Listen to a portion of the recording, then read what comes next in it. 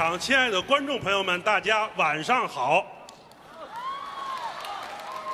欢迎来到北展剧场观看郭德纲拜师侯耀文先生十五周年纪念专场演出。第一个节目，请您欣赏《买卖论》，表演者孟鹤堂、周九良。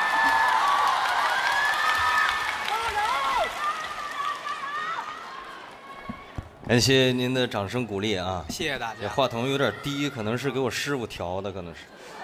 我我也不不太敢动哈，啊就这样。别动它了。谢谢您的掌声鼓励啊！啊啊！刚才报幕的是阎鹤祥壮壮，啊，壮壮。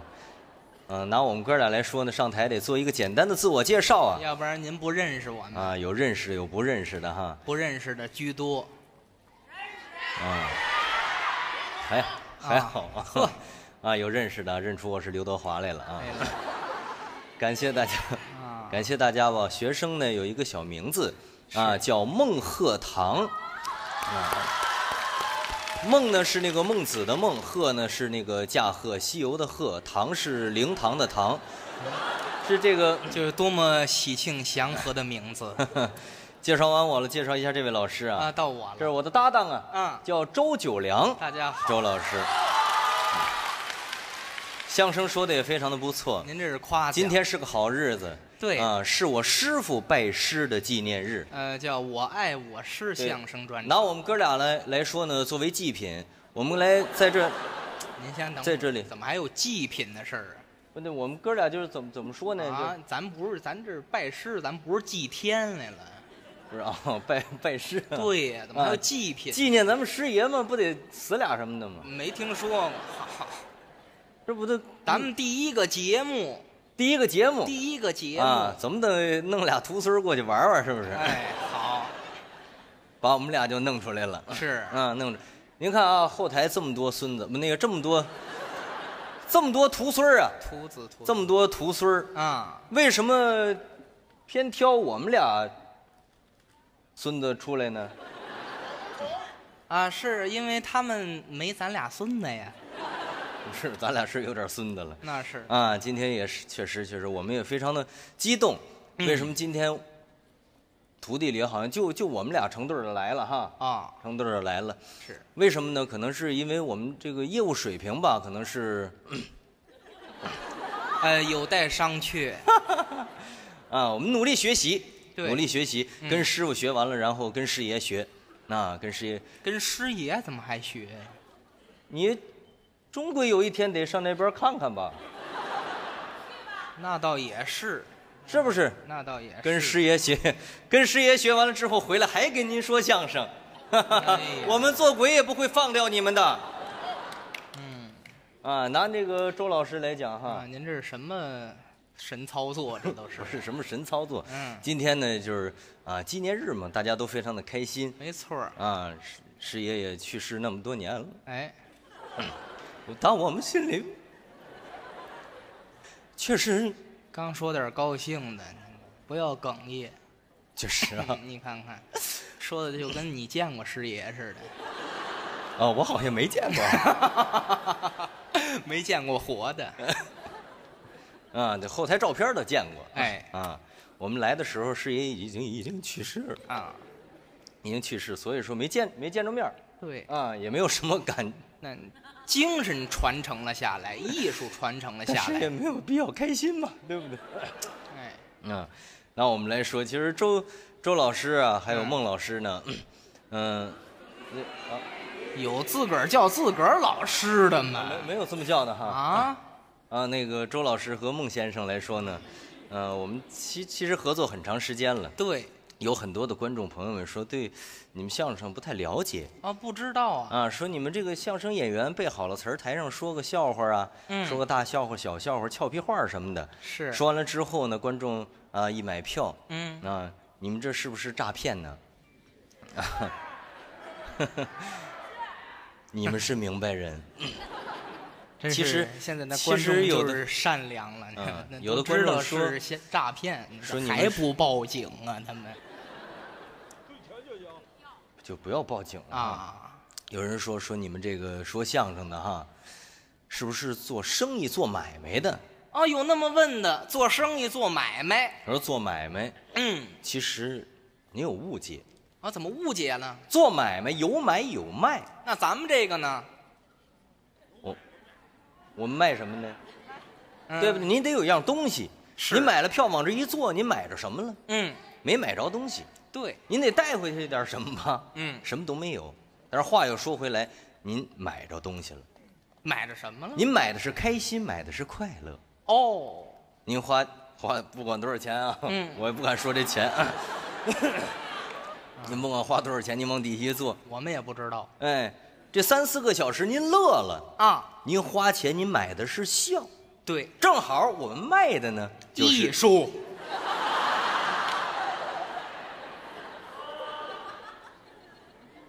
咱别胡说行不行啊？啊，对，胡说八道，一会儿就见师爷去了。对，我们卖的是艺术对，啊，现在都那么说。对，都那么说嘛。没错。啊，其实做生意，嗯，有的时候说，那那你们这个德云社是不是做生意？嗯是不是做买卖？其实也是。我们那是什么？我们不是做生意，不是做买卖我们是商品。呃，俗称叫货呀。商品呢，怎么是商品呢？对吧？有人推销我们呢，哦啊，比如说经纪人，经纪人就是就是销售哦，啊。孟鹤堂了解一下，周九良了解一下，高峰了解一下，嗯，对不对？销售员没错，啊，其其实就是这意思，哪行哪业都有销售员。是啊，对呀、嗯，都有销售员，做买做卖的。哦，你拿这个过去来说呀，这做买卖的，嗯呃，叫什么叫售货员？啊，对，有那不对么叫法儿有那么一阶一一个阶段叫售货员啊，这是名称。啊。周九良这个货您了解一下，嗯，对不对？有售货员、销售员，哎，往下没有你呢？我是孟老师。啊，你这这不一样。是，后来售货员，现在叫什么？现在叫导购。怎么还导购啊？什么叫导购啊？嗯嗯，就是诱导你购买。什么意思啊？就是诱导？你模棱两可之间，他诱导你购买。不对不对不对，大哥找不着座了？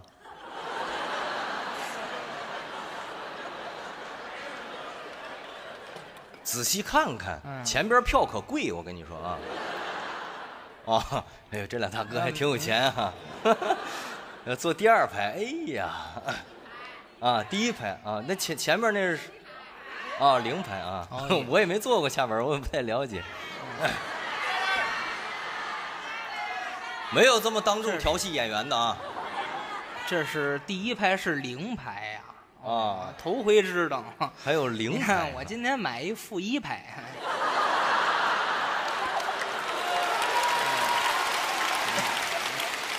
你还挺开心。啊。你还挺，我们这不钱，我们好像还给点儿，哦还给点儿。啊，有有后有后边的观众哈。啊，那后边观众就稍稍远点儿啊，远点儿没有关系是，啊，可能是就是稍微便宜点儿呗，那个票钱嗯，便宜点儿没有关系啊，花个高价钱买点贵的望远镜，啊，找本的，综合一下。其嗯，实我们这票比较难买啊，行了比较难买。哈，咱最好照着台词说，行不行？您老临场发挥，哦，咱这有词儿哎，啊，搞得我好紧张啊！对我们这有词儿了，我们哎呀，我对了。啊，好，我们现在有词儿。刚才刚才说到哪儿了？哎，咱说到这个，对了，啊，刚才说的，说的今天是个好日子。对。啊，拿我们两个祭品来说呢，打头来了又。不是刚才说到导购员啊，嘛，导购员啊。导购员，你看诱导诱导您购买，花钱，对呀、不是那是碰见没有准主意的。哎，您有准主意，哎，您要碰上我，我有准主意，而且我这个人呐，爱挑毛病，您还爱挑毛病，他左右不了我的思想。那不能。嗯，现在这个导购员可太厉害了，是吗？咱就打个比方来说吧，您说，你买什么东西都有什么这个城那个城啊，是啊那个电器城，对不对？哦啊，服装城，嗯布艺城，就拿布艺城来举例子，嗯，布艺城啊，那个小导购员啊，都是小女孩儿，哦，小丫头年轻、好看、漂亮，是，脑子灵活，嘴皮子溜索。嗯，哎呀，你要提出点什么问题来，都给您反驳回去，都能解答了，而且让您满意而来，满意而去我。还能满意呀？当然了，那信我不信，咱试试，什么？咱试试嗯，表演一下。我呢，现在就是那个小导购员，哦哦，您呢来买货，咱们表演一下，是啊，看看什么感觉，嗯，好不好？可以啊。啊，这个舞台就好比是这个布艺城了，啊，我出来啊，买两块布，最近缺衣裳穿。哟，您好，您好，您好。这大哥啊，哎，您好，铁头。外边看您溜好几天了，嗯，怎么着啊？我们家门口有福啊，嗯，你们这死鬼进不来是怎么着？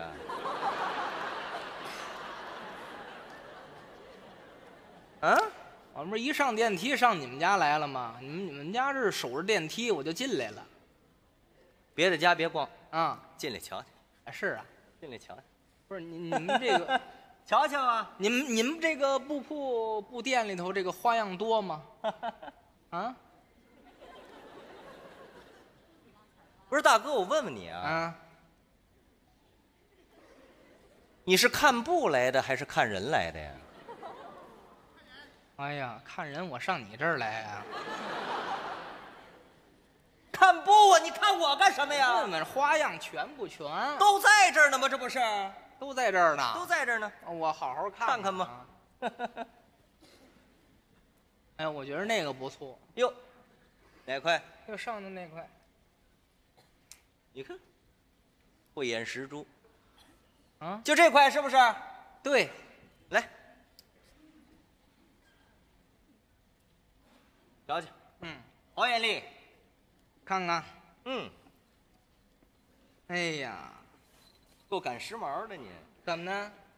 这我们新进的样子。哦，新到的货是吗？嗯，哦，属他卖的好，对呀、我一眼就看出毛病来了。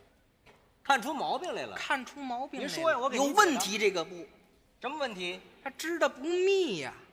你看看，你自你你好好看看，啊，削，这大哥，嗯，你说话你都丧良心。我说什么了？这不织的削，对呀，这不织的不密。嗯大哥，嗯，您站好了，别动。我不动。救命啊！你还看得见我吗？看不见啊，看得见光吗？瞧不见啊。这还不密，这这还不密，您没下水呢，嗯越下水越夹密。哦，呃，掉颜色吗？这人怎么老劲儿劲儿的呢？这位，说这话你都丧良心，丧了两回良心了吗？还怎么掉？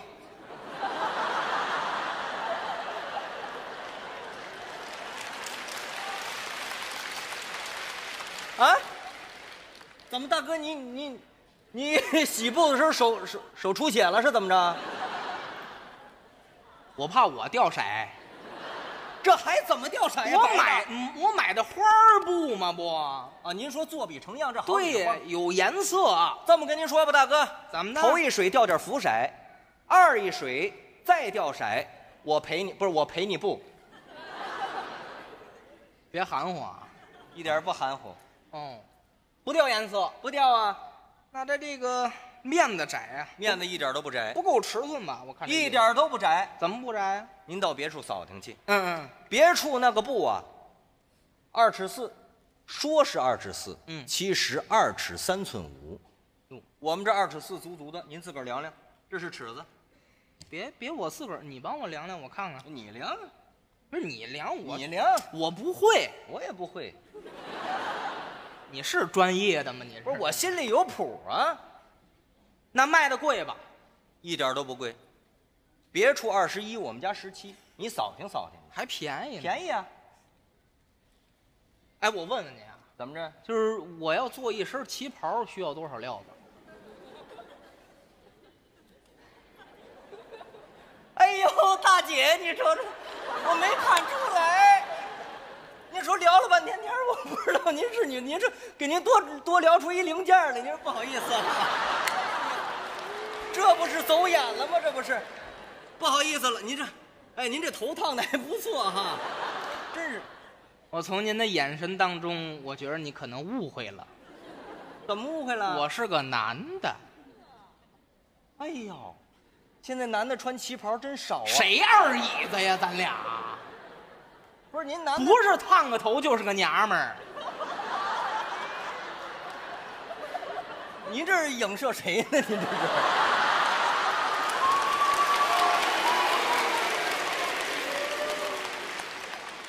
是，您干嘛？我这我们这儿的妇女之友是怎么着？我们你怎么都爱烫头啊？不是烫，我给我爱人做一身儿，早说呀，给嫂子做呀。这不误解了吗？我不知道啊，嗨，我聊天儿我以为您，嗨，哎呦，需要多少料子吧？不好意思，我这，啊，哎呦，我这我们这也是见人多了，什么人都有啊。是 是，您是嫂子到您哪儿啊？呃，到我肩膀这儿，到您肩膀。对，也就到我肩膀，啊，到您肩膀，嗯，个儿不高。可是就这么高，对了，就这么高，那也就这这是我媳妇儿，这是金班儿啊，这是不是金班儿啊，不就到您肩膀啊吗？？从哪儿算啊？从哪儿算呢？啊？从地平线算行不行？啊，地平线算，啊，地平线到您肩膀，也就到我肩膀就这么高。哎，到肩膀也膀得有个一米七了吧？哎一米九，你比我还过分，你嗯，不是这一您您您您多高身量吧？我一米七。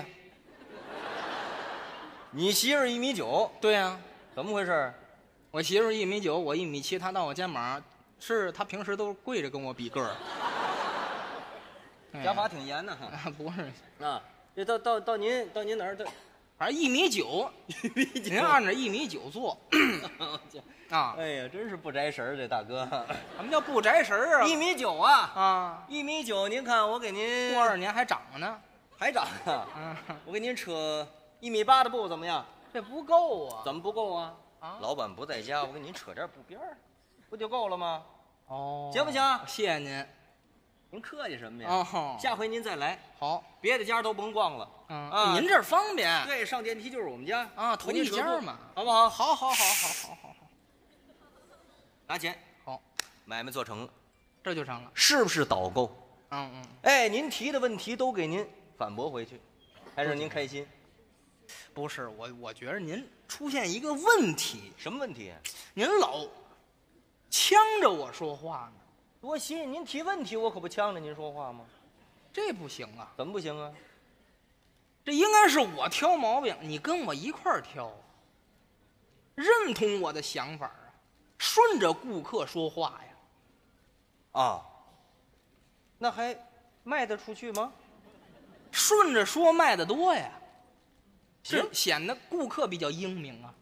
咱们试试，可以，好不好？再试试再来一回，再来一回没问题啊！我这回我顺着您，就按照我说这个意思来啊。行行行，哎，过来买买点布，最近呐缺衣服穿，也不知道冬天了吗？哎，一上电梯这上来了，头一家儿大哥又来了，看啊，是是是怎么那离了？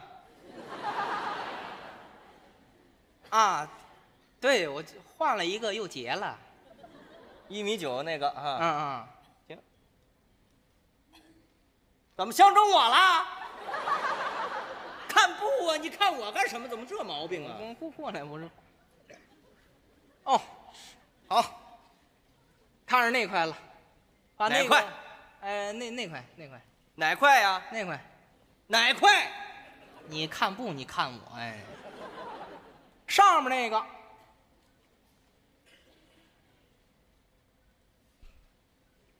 下边这，下边那个，上面那个，嗯，下边这，上面那个好看，下边这好拿。好，好好拿，我就依着你啊，就是上面那个，非得上面那个，对对对对，非要上边那块，就是紧边上那个，你上回就给我拿错了，你看离了不是？旁边那个就是非拿最上边上那个，对，就是他。我敬你是条汉子。我要拿下来，你要不买，今你要干嘛？儿老娘活剐了你。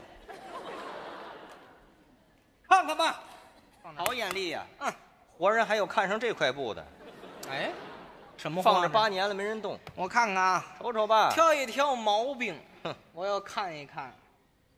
哎，看出问题来了。什么问题呀？这布啊，织的不密，削啊，就是削，特别的削。大哥眼力真好，没下水呢，越下水越消。下两回水，您做医生啊，啊，做蚊帐正合适。哎呀，被我一语猜中了。是不是？消，哦太消了。我我我问问啊，啊，这掉颜色吗？掉，特别的掉。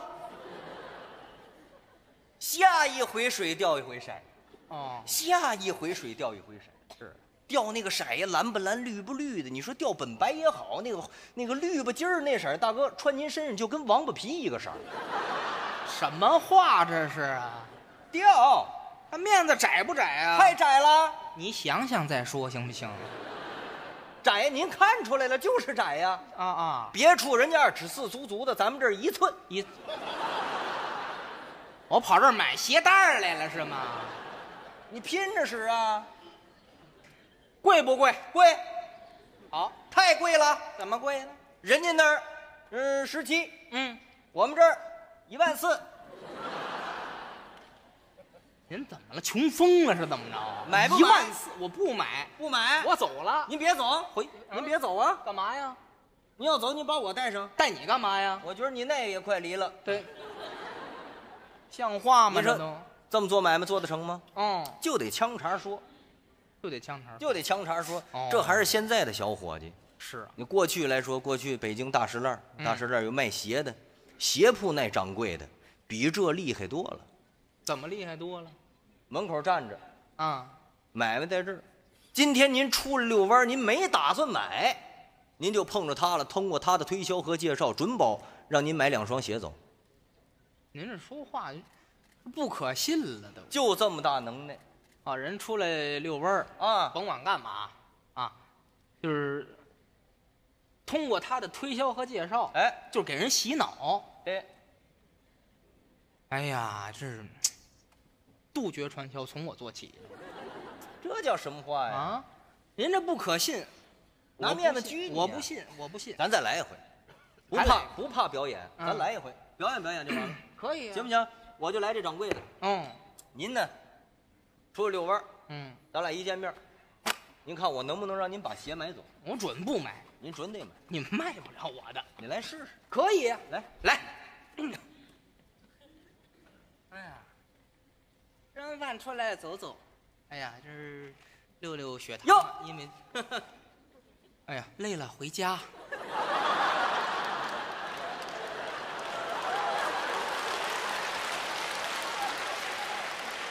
回来，哦，饭低血糖了，干嘛去啊？我累了。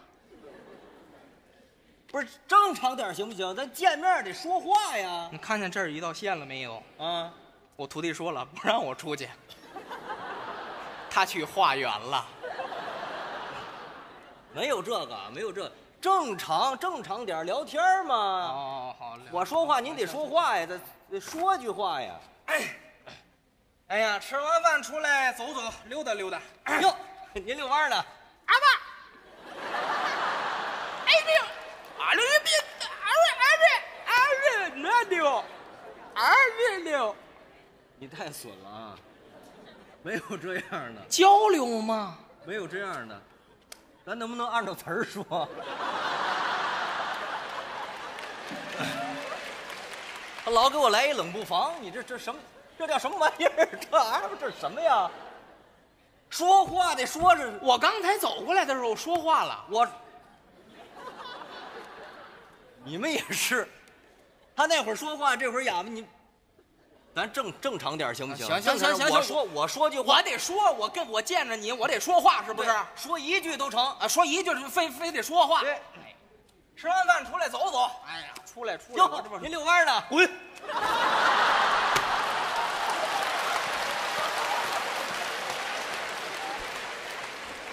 什么玩意儿啊？啊，怎么一天出来三回呀？我本来气儿就不顺，离两回婚容容易吗？我怎么了？这是？哎不是你这谁你们家狗没拴住啊？这是？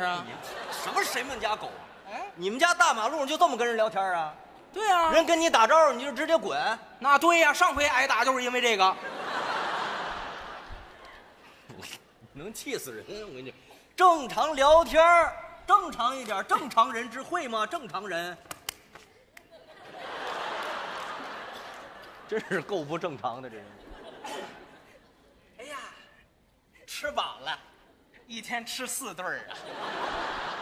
出来走走，溜一溜血糖啊，要不然一会儿血糖又低了。您好，您遛弯呢？不买鞋。你也不知道我干什么的呀？嗯，我我看你长得像卖鞋的。咱不是卖鞋的啊，啊，你是你不是干什么的？咱进来瞧瞧，您进来瞧瞧。我我什么买卖？鞋铺，你看看，我不买鞋。我不卖鞋，我啊，不卖鞋。您这怎么？那你那你拽我进去干嘛呀？溜半天了吧？是四趟了。是外边这么大风，口干舌燥的，是不是？进屋里边歇歇脚，喝点茶，聊聊天，交朋友嘛。来来来来，呃，我就是坐一会儿。哎，哎，好。回去沏茶去，就没眼力劲儿。这咱们老主户了啊，每年都买咱们十双八双的鞋。啊，我接着就是我，我就是费鞋那玩意儿。沏那好茶叶，哎呦，还好茶叶。一千块钱一吨的那个，哎，你院子里扫点这落叶儿给我泡上。他好喝草，谁爱喝草啊？一千块钱多少？一吨一吨一斤呐，您这没法进，这都一斤呐。喝茶。一百块钱一两，放在这里。哎呀，你看着他，他就解渴，你看没有啊？闲聊天啊。您说，你要干我们这买卖的，也不知道聊什么，跟哎人家这。这直言不讳嘛。您这脚可不小啊，是啊，得够三六半吧？那可不。我怎么又改了妇女了？我不是妇女，您这大褂挡着看不清楚。啊，四一四一的脚，四一，不四一，真周正。伙计，嗯，拿双四一的圆口布鞋呢？嗯，拿回去。怎么了？我不买，我跟你说了，谁让您买了？我头一句我就表达我的来意，不买鞋。本店新进的样子，皮底皮口里夫尼。您这么，您穿上试试，给我们打打广告啊，行，看看好看不好看，行行行行不行？行。您抬脚，我伺候您。多漂亮，多好看，啊！就跟给您定做的一样。这一只也是试不出来呀。来不是你这这两边不一样啊，这只这只啊把那脱了啊，来来来，嗯，怎么样？不是穿这鞋行啊？行啊，这鞋能走吗？能走怎么不能走啊？穿这鞋能走啊？能走啊，穿这鞋能跑吗？能跑啊。再见。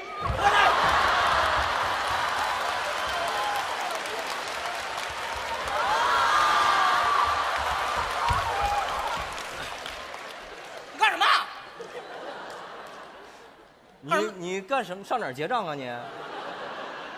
吧台就在这儿呢，你上哪儿结账去？我跑一个你看看呗。你别跑跑开战了你，谁还还对不对？你谁想到你跑的比我还快呢？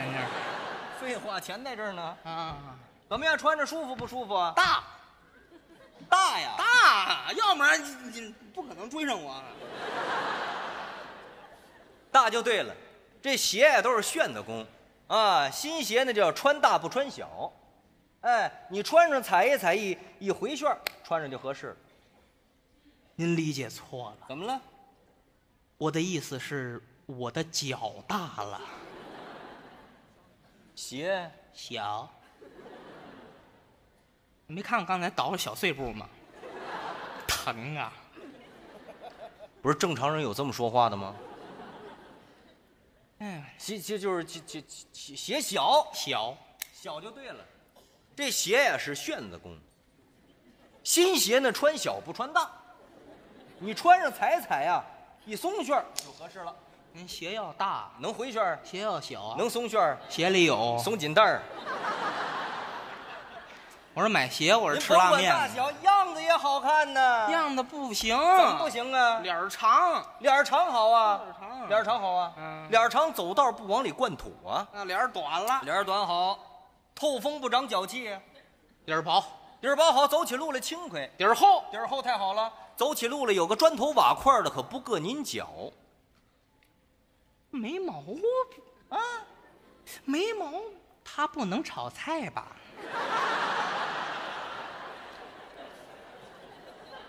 您哪位带着枪呢？哎，不要想不开，不要想不开。人生的坎坷起起落落，不要因为这点。你看看我，你看看我，嗯，你怎么这样呢？不是什么这样，您这鞋一点毛病没有啊？没毛病啊，是啊，没有毛病。嗯，怎么样？行行行，我这我我都穿上了，跑一圈了，你给我是啊行，就就就是这就它了。行吧？行，买了，您家小少爷今年三岁，三岁，伙计，把三岁小孩那圆口布鞋给我拿来。快拿回去，小张，快快快快，去，拿回去啊！怎么了？我买一个就行了，怎么还买呀？您这人说话你知道我们家孩子胖给谁了？不是什么办法？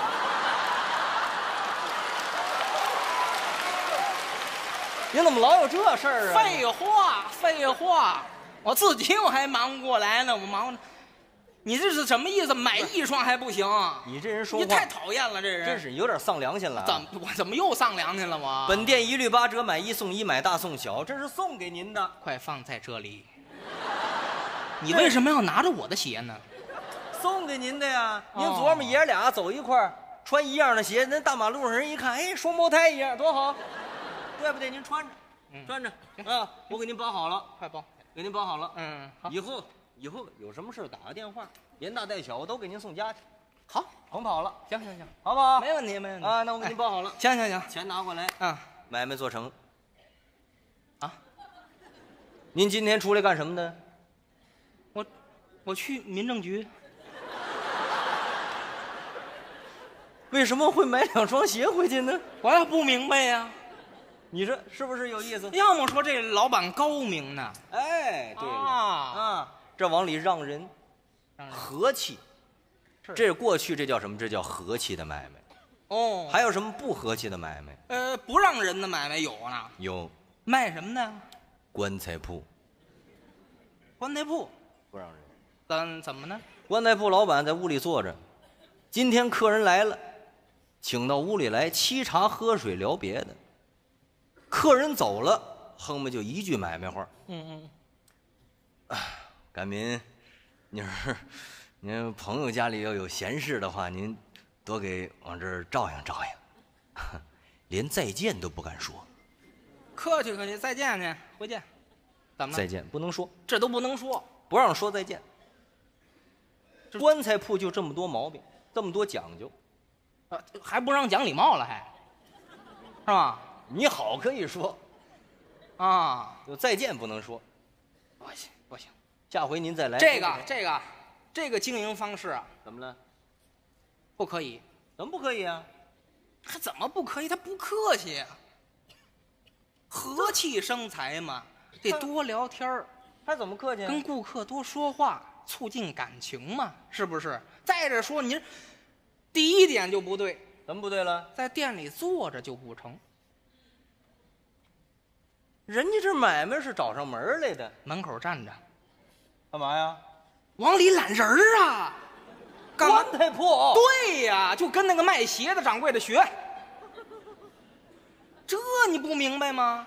棺材铺对，往里让人。往里让人，那买卖火急了，知道吗？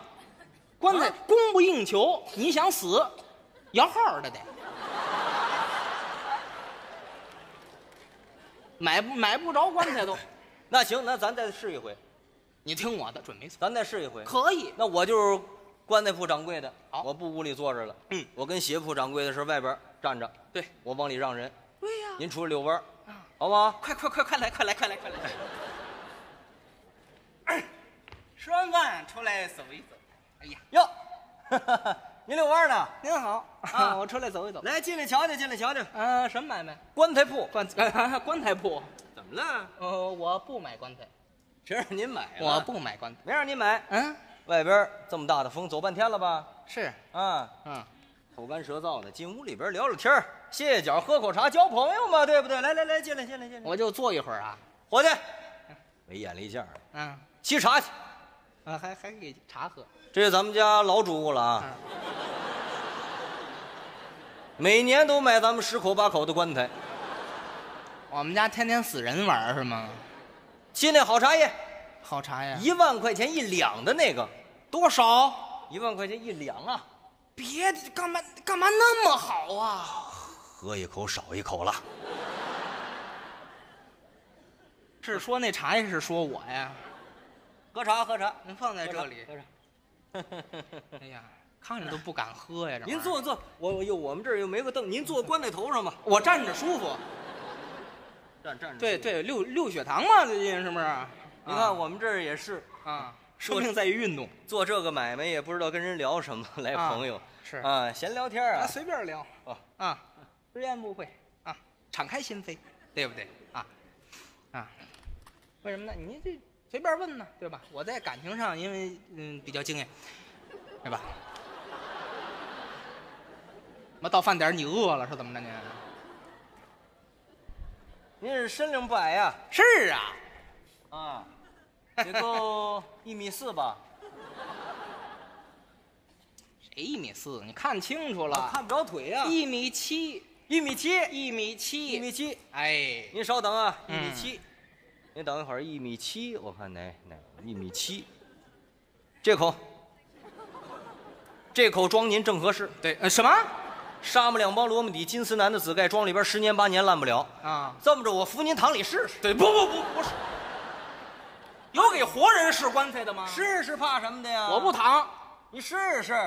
嗯哎，，您家小少爷今年三岁，三岁，伙计把三岁小孩那火匣子给我拿来一个。不要。嘛呀，干嘛？本店一律八折，买一送一，买大送小，这是送给您的。送的我也不您这身份我也知道了，以后甭跑了，有什么事打个电话，连大带小都送你们家。都送你们家去，我走了。你别走啊！干嘛呀小匣子留好了吗？我要这干嘛呀？回家哄孩子玩啊！这不是玩具你呀、按四个轱辘当小车推呀、多闹腾啊你啊！闲闹呢，把盖儿钉上啊！孩子闷死了。闷死正好啊！怎么呢推坟地就埋了。哎，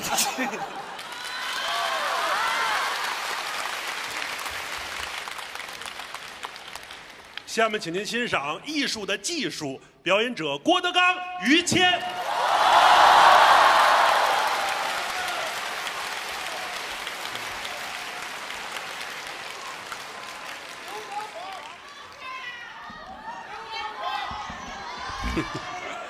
谢谢，谢谢，谢谢，谢谢。喊什么的都有，啊，你听这个称呼你就知道他是谁的粉丝了。都能听出来吗？嗯，于老师的粉丝喊祖宗，没有，哪有那么低的辈儿？哈 真下本儿，你看见了吗？谢谢吧。嗯，刚才是孟鹤堂、周九良小哥俩，说相声啊，嗯，让他们两个下去休息一会儿，嗯，换上我们俩人来了，我们说一段，很感慨。怎么呢？当年的谦儿哥也像孟鹤堂似的，那么嫩。啊，没到这份儿上。啊，小脸蛋儿一掐一兜水。啊，那您是太使劲了，现在看看，都有白头发了，就是上年纪了。哎，土都埋到眉毛的人。啊，啊，到眉毛来，到哪儿？那叫土埋半截儿了。土埋到半截儿了。对，所有认识谦儿哥的人都跟我提过，说什么呀？说你看谦儿哥，特别像一个慈祥的老大爷，哦，还慈祥的老大爷，这是一种拟人化的手法。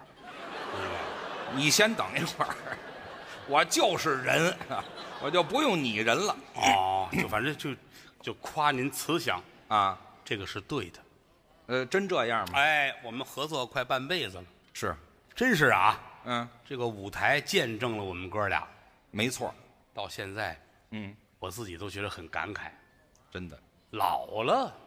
您倒没有，哎，啊，早先站台上说相声三个小时、四个小时不觉得累，是，现在时间长了腰酸腿疼啊。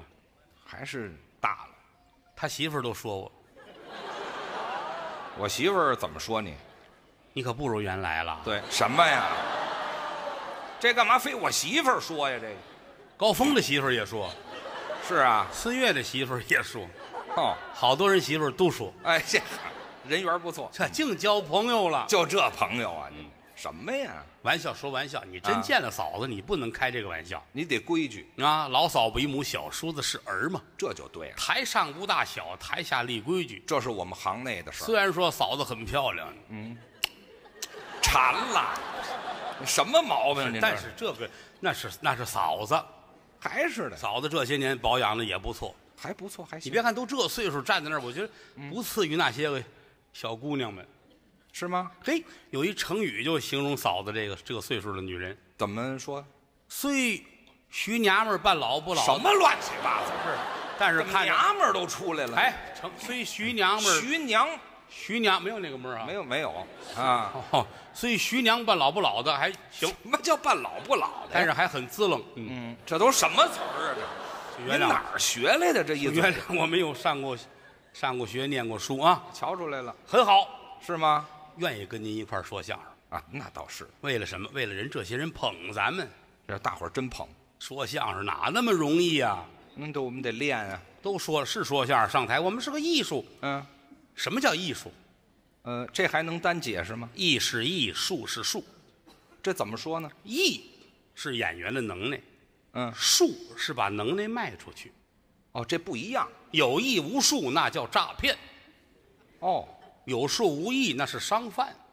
哦，哎呀，我这个相声这么好，那么好，那么好，这么好，听完之后啊，狗都能学好了。哎呦，但是，一说卖票吧，一毛钱一张票，嗯，观众把剧场砸了。不爱看。你不是诈骗吗？嗯，你这么好，怎么没人听呢？对呀。你这么好，怎么连一毛钱都不值呢？嗯，那叫骗人。还真是你看今天啊，这个剧场，啊，北京北展剧场是不到三千人，啊，我们哥俩跟这儿演了够十多年了十二年了吧？啊，跟这个剧场什么难？嗯，就是这种商演是最难，商演怎么个难法呢？因为它是人为无法控制的。啊，这不能控制。天下无论什么事情，只要是人力可为的，嗯，它就简单。怎么叫人力可为呀？你看，举个例子啊，啊曲艺团，啊，我就在这团。你是那儿的嗯，头牌，不是，您说的是曲艺团吗？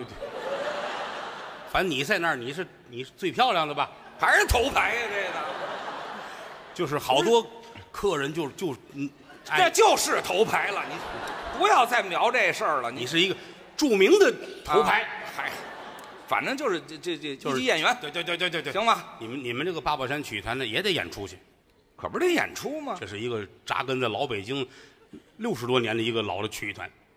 啊，六十多年了，。对然后你们团长给大伙儿开会，哦，他们那个德云社也演出，这是扎根老北京的吗？这俺们这个老北京八宝山曲艺团，谁说的？俺们也得出去演出去，哎，就是演出呗。就找呗，啊，保定地区啊，什么石家庄那块儿啊。嗯找，但是村民们不干，啊，给农村演，就是看你们演出耽误秋收，你这精神食粮都不要了是吗？最后你们团长带着演员们就跪求啊，跪求，怎么着？跪求啊！跪求，跪求，看看我们一场相声吧。哎呦，哎，聊来聊去，最后就决定你们先帮人家秋收，我们是演出去了，是干活去了。先秋收，啊。秋收之后，然后你们再演出给人家，还给人送鸡蛋。啊！秋收完了，怕人没菜，是吧哎，只要是来看你们的相声，啊，哎，每个观众给二斤鸡蛋。发鸡蛋，但是有有两个观众觉得给鸡蛋他也不爱去，给鸡蛋都不成，因为这俩观众家里是开这个养养鸡场的，人家不缺鸡蛋，哎，反正最后说吧，啊就是同意了，就让你们去演，那好你们也演，你们也一人做一大褂儿，哦。呃，有漂白的，有粗白布的，对我们这儿办白事儿呢，是怎么着？穿漂白大褂儿，就随便演。这个有一最大的好处，什么好处呢？像这种演出就不用尊重观众，你先等一会儿，怎么呢？不用尊重观众，那当然，我拿你钱了吗？你拿我鸡蛋了，我还帮你秋收呢。哎，对呀、哎，所以叫什么？跟观众拽咧子，哦台上吐痰撒尿都可以。不不，我们也太粗俗了，我们这个所以说你这种演出就好弄。不用尊重。你看，嗯对不对？啊，他不像商演，商演是必须尊重观众我们卖票啊。啊。你们这送鸡蛋不重要，哦所以说人为可以控制就好干。是，还有比如说啊，嗯，评级，这个也是人为可以控制。你比如说你你换一单位吧，你是一个电影演员，啊。我这好逃出八宝山来了，我这是，你是八宝山电影公司的那哎个，，这还是没出来，我这哎，这个这影视演员了。你。是一个影视演员，哦。你们单位要评级，嗯。要评三级的那个，嗯，电影还是演员啊？先是演员，没有演员怎么拍电影呢？啊，这那就先评演员。哎，但是只有一个名额，就是打四级演员往三级演员上调，哦，只有一个三级演员的名额，那就就是你们单位领导手里攥这三级名额，看给谁了。给谁？嗯，是给于谦还是给苍井空呃，啊？哦，这俩人谁对我有用？呃呃，苍井空对你有用，我别跟他争这个啊所以你得等明年。啊！明年才三级呢。对呀、这个你说这三级演员给你给他没有什么区别，是完全在你们单位领导那个兴趣上了，对吧？哦他人为可以控制，这个就简单。啊，他可以控制。你包括相声大赛，哎，那也行啊。哎呀，八宝山杯相声大赛得离不开这儿了。啊，然后给吧，有一一等奖，哦，给他还是给他？这个这个不行，这花钱了，哦，这不行，这他爸爸有势力，那怎么办？得了，给那哑巴吧，啊？给哑巴了。就说人为可以控制了，嗯，就都简单，哦，唯独这种演出控制不了，怎么呢？三千多人，人家花钱买票了。对，为什么咱们说观众是我们的衣食父母啊？嗯，您的每一张票拿回来，我们要养家糊口，是，拿钱来给我父母，嗯，孩子上学，对，给我媳妇儿，哎，给他媳妇儿，对，我媳妇儿不用你给，我媳妇儿不用你给，嗯，还拿着吧，对，什么叫拿着？谁跟你商量这事儿来了？拿着就拿着，行不行？不差这一回，不要，这月不给了啊！哪月没给过？以后不够花，别跟我说，没听说过这就就说这意思，啊？就说这意思。所以说，观众是我们的衣食父母。这话对，江山父老能容我，不使人间造孽钱。嗯，郭德纲、于谦代表德云社四百多相声艺人，向我的衣食父母致敬。哎，谢谢各位了。您破了。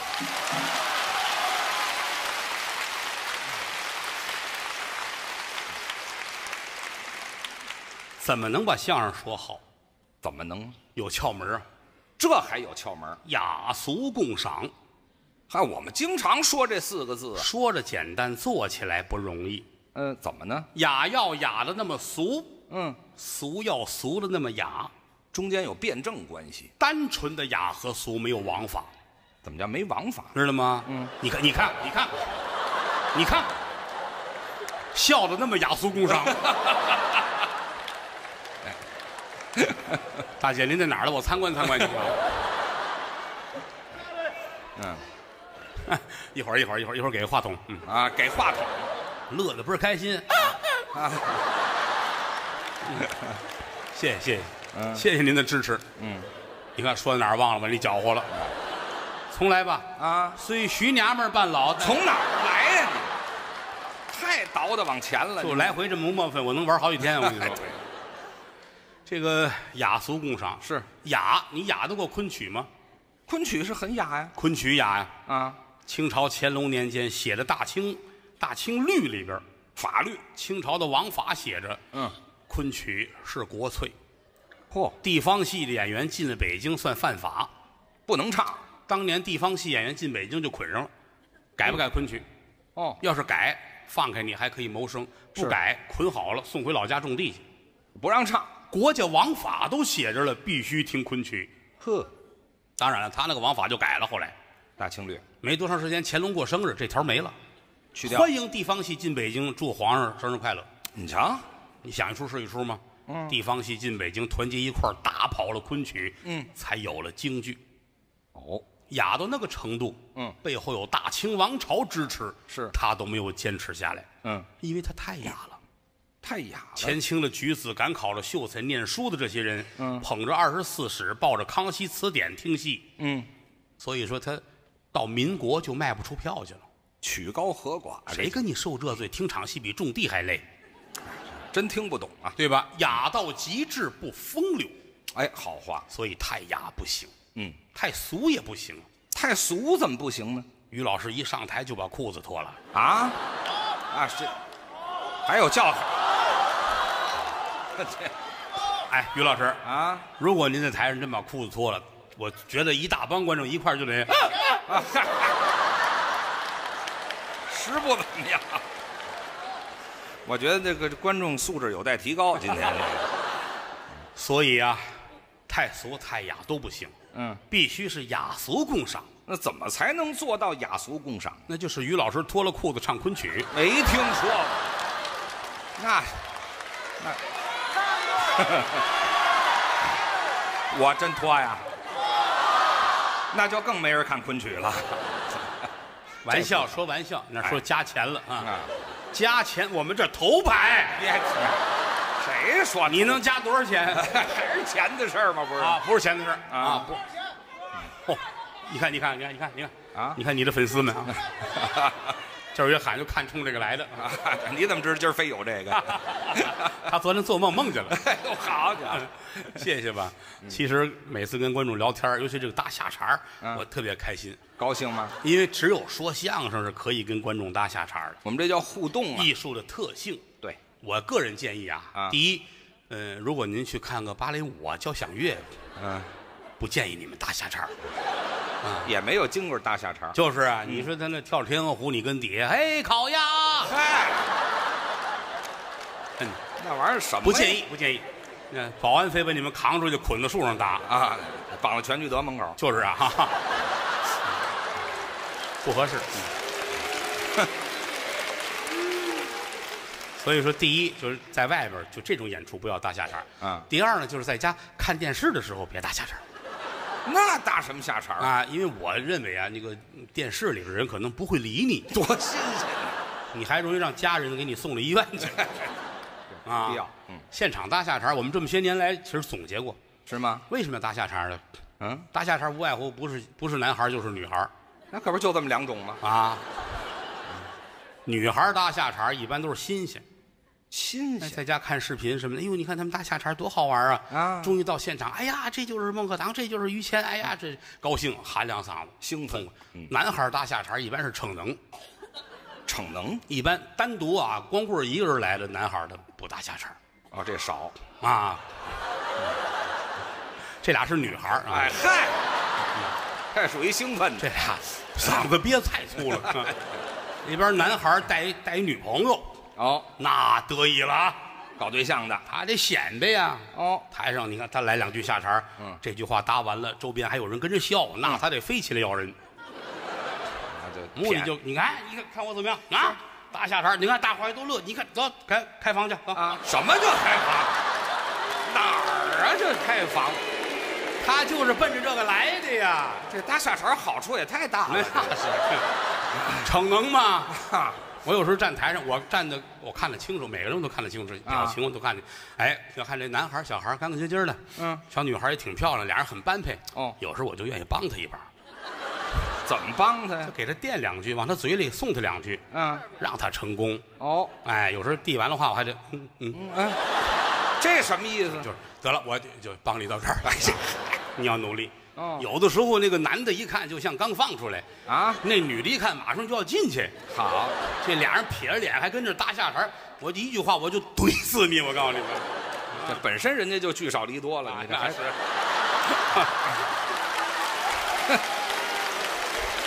这就是我们这行的乐趣。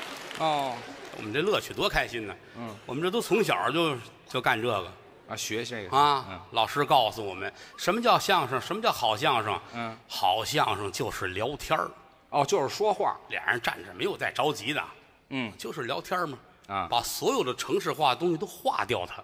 哦，你我教您各位听相声，嗯你要一看这俩说相声往这一站，俩人就上了发了啊！啊，打后台就四脖子汗流啊！哎呦，俩人出来跟上刑场似的，嗯，站这儿哗哗流汗。那是那这孙子心里没底，哎这，哦没底，越喊越不会。哦不能喊，哎呀，我们学相声，我要这，心里没根。嗯，这踏踏实实聊天，好好说人话就对了呗。哦，这都是从小练。这得练，从小的时候，先生告诉我们，最重要一点是嘴里边得干净，那是功夫，说话不轻如钝刀杀人。不是什么还钝刀杀人杀人的刀要快，啊？杀人的刀要是钝了，这个人太难受了。那都是死。比如，啊！比如于老师被杀头，我也是嘴欠，你这，我搭这茬儿干嘛呀？举例子，那那换换我，啊，那太好了，好吧。啊，比如我被杀头，可以，我被杀头之后，于老师成了孤儿，嗯，然后你先，哪儿就我成孤儿了？成没成？我叫您还是拿我举例子吧，这我要求这个啊。啊，因为要把我杀了，没人给你解释钝刀杀人了。嘿好，于老师被杀，咱们挑一个好日子，这还要挑日子？除夕、春节，大年三十儿举国欢庆，那是啊，有华人的地方都在庆祝。高兴吗？于老师，于老师这天还得是个好日子，您过生日，双喜临门呢，这哎，对，是。啊，新搬的家，还乔迁之喜，新买了一个六万七千平米的独栋别墅。我住广场上了，我这个。嗯嗯。你媳妇儿出去买彩票。啊。三毛钱买张彩票，哎呦。中了现金十二亿。嚯，抢去了，这是。欧元。还是欧元，啊。说你们窗户根儿码的马路边儿都是。那太多了，你儿子今天还从国外回来，全家团聚这孩子在国外念书，啊！三岁就到英国去读书，我这是让人抢走的，这是。三岁就出去了就是为了要那个语言环境。哦，哎，三岁走，今年二十三回来了。后走了这二十年，他走的时候啊，还不会说话，都没喊过你一声。那是啊，三岁。今天回来了，啊，带着未婚妻，哦，还要结婚，未婚妻的父亲是世界首富，哦这这好事儿都让我赶上了，阖家欢乐，全家人坐在一块儿，太开心了。是是是上菜，啊，吃饭，年夜饭，嗯，干炸小黄鱼儿。哎，你瞧我们年夜吃这东西于老师高兴，拿筷子夹一个，啊，这一咬，嘎嘣一下子，怎么了？干炸小黄鱼肚子里有一钻石半斤沉。这鱼是让钻石砸死的，这是那么大一块钻石，天下的好事儿都到您的脑袋上了，就没别人份儿了。我也得去呀、您干嘛去？给您祝寿，哎呦，这谢谢您，祝您生日快乐，得嘞，哈哈，还给您准备礼物了，什么礼物啊？印度三宝，呵，这礼物挺新鲜的，这个快看，哦，送来了门一开，哦，印度公司派了一个美女给您送货，你瞧还是美女送，这个印度美女十八岁，妙龄国色天香啊，漂亮，穿着传统的民族服饰，印度的，这儿还点一红点儿，这就是风情嘛。拖着包装盒。是，于老师，嗯，祝你生日快乐呢！这什么味儿啊？俺们公司让俺来的，行了行了，这女孩怎么这味儿啊？教她中国话呢是保定人。这孩子也不想进步了，这是。打开盒儿，印度三宝，那都什么？一个印度小叶紫檀雕刻的木桶，哎呦，这小叶紫檀就是一宝啊！外边抹着一层印度咖喱。这宝有点糟践。开盖一看，满满登登一桶什么？印度神油。好家伙，这么三宝，于老师趁热喝了不？说喝了。哎，这玩意儿有喝的吗？于老师端起来，吨吨吨吨吨吨吨吨，哦，喝完了，听话。一回头看着女孩，嗯，你脑门儿这红点儿我能摸一下吗？长这么大好奇心呢？打小看印度电影老纳闷这个，我摸一下，啊，一 K 哧这红点儿掉了，哟，脑门上露出三个字来：写的是特等奖。你这这好事儿还没完呢，是吗？人家公司促销，哦谁发现这三个字儿特等奖就是谁的了。那么这特等奖是什么呀？特等奖就是这个印度女孩儿，那么这女孩儿这就是是这一辈子这个人就是你的了。就跟我过日子了对。了，嘿太开心了。那是除了嫂夫人有点不乐意，啊，我媳妇儿有点想法。那您凭什么他上我们？我就赶紧劝，对，抽奖算什么呀？就是就是，正说着，咣咣咣，有人砸门。这回谁来了？打开门一瞧，嗯，四百个官兵。这官兵干嘛来了？于老师，春节快乐，哎呦，谢谢您。阖家团聚，哎，得嘞，乔迁之喜，借您吉言。生日快乐。那得得得，走，杀头去吧。哎，我都把这茬儿忘了啊。还杀头去？带您杀头去。凭什么杀头啊？哎，没有原因，走吧。我不行，你得给我个理由。呃，就是拿你去解释一下钝刀杀人。你瞧，我死在这四个字儿上了。走吧，于老师跟人走了。哦，屋里边天都塌了。啊，这么大的事儿可不是。你儿子三岁走的，二十三岁回来，对打进门没来得及喊你，哦，就想坐在那儿举起杯来好好的喊你一声，都没有。没来得及。哎咣当个孩子就坐那儿，晴天霹雳他那个媳妇儿坐在旁边，啊，我腿都软了，是吗？一下我就歪在这儿了。没经历过这。你媳妇儿坐我这边，啊，印度这闺女坐我这边，哦，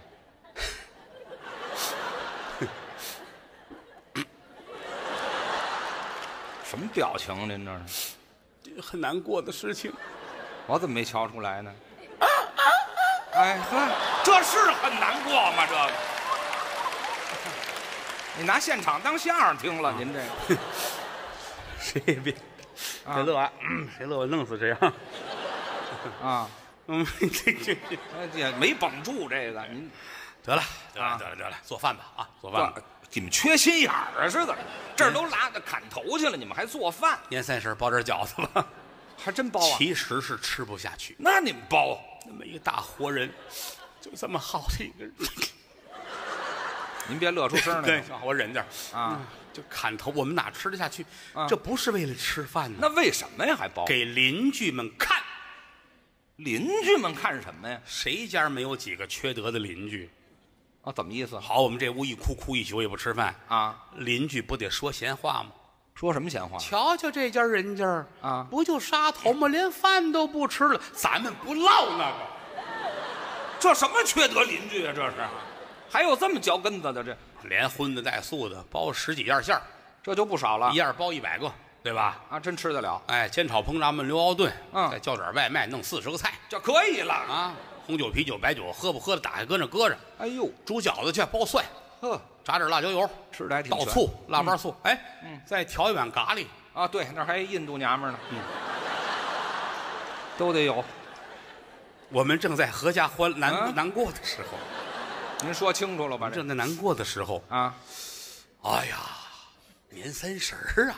刚想起来，对呀，来来来，打开电视干嘛呀？看看春晚，啊，看看有没有好相声。没有好相声了，我都死了，还有什么好相声？什么乱七八糟的这个这个时候，啊！于老师已经送到了北京菜市口，我都到了地方了，嗯我这还菜市口，这是一个杀人的风水宝地。这传统的杀人地方。来到这儿了，一大帮刽子手上来给于老师把衣服扒了，哎，等会儿，一丝不挂，从上到下全扒我就光。不是这这这干嘛还扒了啊？哎呀，命都不要了，还要脸干嘛？那我也不能先不要脸啊！我哎，你早说这儿好了啊，好，我还说晚了。扒干净了，嗯，一丝不挂，光着。五花大绑，嚯，脖子后边插一个招子，什么叫招子呀？白纸叠的插在竹棍上，上面是宝剑的尖儿，啊，写上你的罪：我这个写的是。监斩人犯一名，大流氓于谦。我说我怎么光着呢？嗯，插好了。啊，哎，你有什么要说的吗？啊让我说话，于老师大气，我说什么？本忙，本忙？什么叫本忙？大流氓吗？大流氓自称本忙啊！我都头回听说这词儿。叫本流不好听，本，废话本忙，啊，跪下，踹那儿了啪嚓跪那儿啊跪，怎么撅那儿了？啊！废话，你要不踹我，我就撅那儿了。跪，你又撅那儿，你管我这干嘛没？有人管没人管？他就光着屁股撅那儿啊！嗨，一会儿杀头了，就你这就就撅着撅着吧啊！啊！都忙活完了，是天就亮了。我这儿折腾了一宿，年三十送来了，现在已经是大年初一了。你瞧瞧北京每年初一开始啊，啊！它是有庙会的，北京有好几摊庙会呢，最热闹的是场店庙会，那是一个老的庙会。琉璃厂啊。对对对，一般来说，都从清朝就延续到现在。啊，你瞧瞧北京城里大概六七十万人上这儿来玩儿来，啊，热闹，嗯，外地游客有个三四十万，这就百十来号人。这一百多万人都要从您的身边经过。你先等一会儿啊。好的，场店庙会，对，一百多万人都从我身边经过。是的我在这儿。你们卖票不卖票啊？当时通票啊，你看，我还含在里头了。这个你是一个景点儿，这叫什么景点儿啊？你这叫雅俗共赏。不唱这个哎呦，这些是一百多万人啊，都打着过光庙会啊，看去吧。怎么了？看什么了？于谦儿，别嚷，别嚷，于老师，你不用嚷。啊，就我我就爱听你的相，于老师给我照张相。不，等会儿，我这光着呢，照什么啊相？我没想到，我就喜欢你哎呦啊！别说这个好多人都来，还有那个闺女接妈妈接婆婆来看的。啊，那么好热闹呢，哪儿了于谦儿啊？还真来，这就是那说相声的于谦儿啊，看见了。还真白呀、你管着管不着？这老太太怎么那么贱气呀？这个一晃啊，啊，就到了初七了。我等会儿，哎，我这儿展了七天了，因为北京的庙会就是初一到初六，那还剩一天呢。内部人员得看看呢，啊，我临死还给他们一优惠呢。啊，我伺候你一年去了，是啊，大伙儿都看完了，都满意了，啊，哎，准备杀头了。赶紧杀吧。在这边有一个展棚，展棚啊搭了，一棚子，里边坐着监斩官，怎么还有监斩官呢？得有一官儿负责这事儿啊。啊，他得下令。哎，配着一红斗篷，这红斗篷辟邪呀。哦，刽子手过来了，啊，启禀大人，哦，时辰已到。哼，监斩官这才一回头，说什么呀？仨呀，什么？整啊，嗯，弄死他，切稀碎，什么呀？削他呀，给谁整的？行了，这来东北监斩官的这个刽子手回来，啊，把刀抄起来。哦这口刀啊，啊，肩宽背厚日飞薄，杀人不见血光毫。紫薇薇蓝娃娃，霞光万道，瑞彩千条。嚯，哆里哆嗦，颤颤巍巍，快呀！啊，他就这一下是不是吓一跳？没砍啊？惊不惊喜，意不意外？谁跟你逗了？这是不是好好玩？这这是没有玩的，于老，哟，快尿了啊！废话，下哎，我跟你逗着玩儿谁我布置他布置他尿了，别嚷了，快拿那墩布来！什么墩布？尿了，来，我擦，我怨我对不起，抬腿真够，哪腿哪条腿？别嚷了，这砍头了，这还擦地干嘛啊！那？哟，墩布，你干什么来了？你们这是手起刀落，啊？这不就完了吗？人头落地，啊，咕噜咕噜咕噜咕噜咕噜咕噜，真惨！往那边轱辘，突然停住了，干嘛？等红绿灯，哎，我要这么规矩，至于砍头吗？我绿灯了啊！啊，人头过马路，你看看，扭过脸了还得夸刽子手，我说什么？好快的刀啊！太贱了，我这个杀人刀要快，这就要快，这要是钝刀，您就受罪了。哎，差不了多少。咱们换一方式，这回用钝刀杀您。怎么再说一遍啊？前面的事情我们都不提了，什么叫前边啊？就是那个我坐这儿，你媳妇坐这儿，那个我，那行嗨，我们吃饺子。啊行了放心我这都互相归你都归你敬酒跳舞，行啊，都归你就就从我接收开始吧，好吗？啊，那还是从头说呀？好，好不好？没事了啊，啊就我们合家欢乐吧，你跟你没关系啊。啊，你已经跟这儿展览七天了，好吗？七天过去了，七天过去，撤展了，开始撤展了啊！还是展览？我这这个，个启禀大人，时辰已到。哎，这就行了。监斩官一回头，他说什么？撒呀，怎啊，削啊，切稀碎，弄死他。好家伙，这孙子还没下班呢，刽子手把刀抄起来了，赶紧砍！这口鬼头大刀打唐朝流传下来，哦唐朝到现在一次都没磨过，啊，因为磨一次得花三毛钱。好，从唐朝到现在，没人舍得花三毛钱。太抠了，哎呀，上面都是锯齿，都带齿儿了。而且刀刃比刀背儿厚一寸。这翻过来使合适了，这个要是拿刀刃杀你，是你的造化；啊，这这回呢？今天拿刀刃杀你，得，刀刃上大锯齿儿、小锯齿儿，哎呀，举起来走你，哎，嘡，怎么样？扎脖子上了，扎上了，上不来下不去那，怎么办呢？只能横着推，嗯，这不是锯吗？连锯三天，您猜怎么着？怎么着？你是饿死的。我去，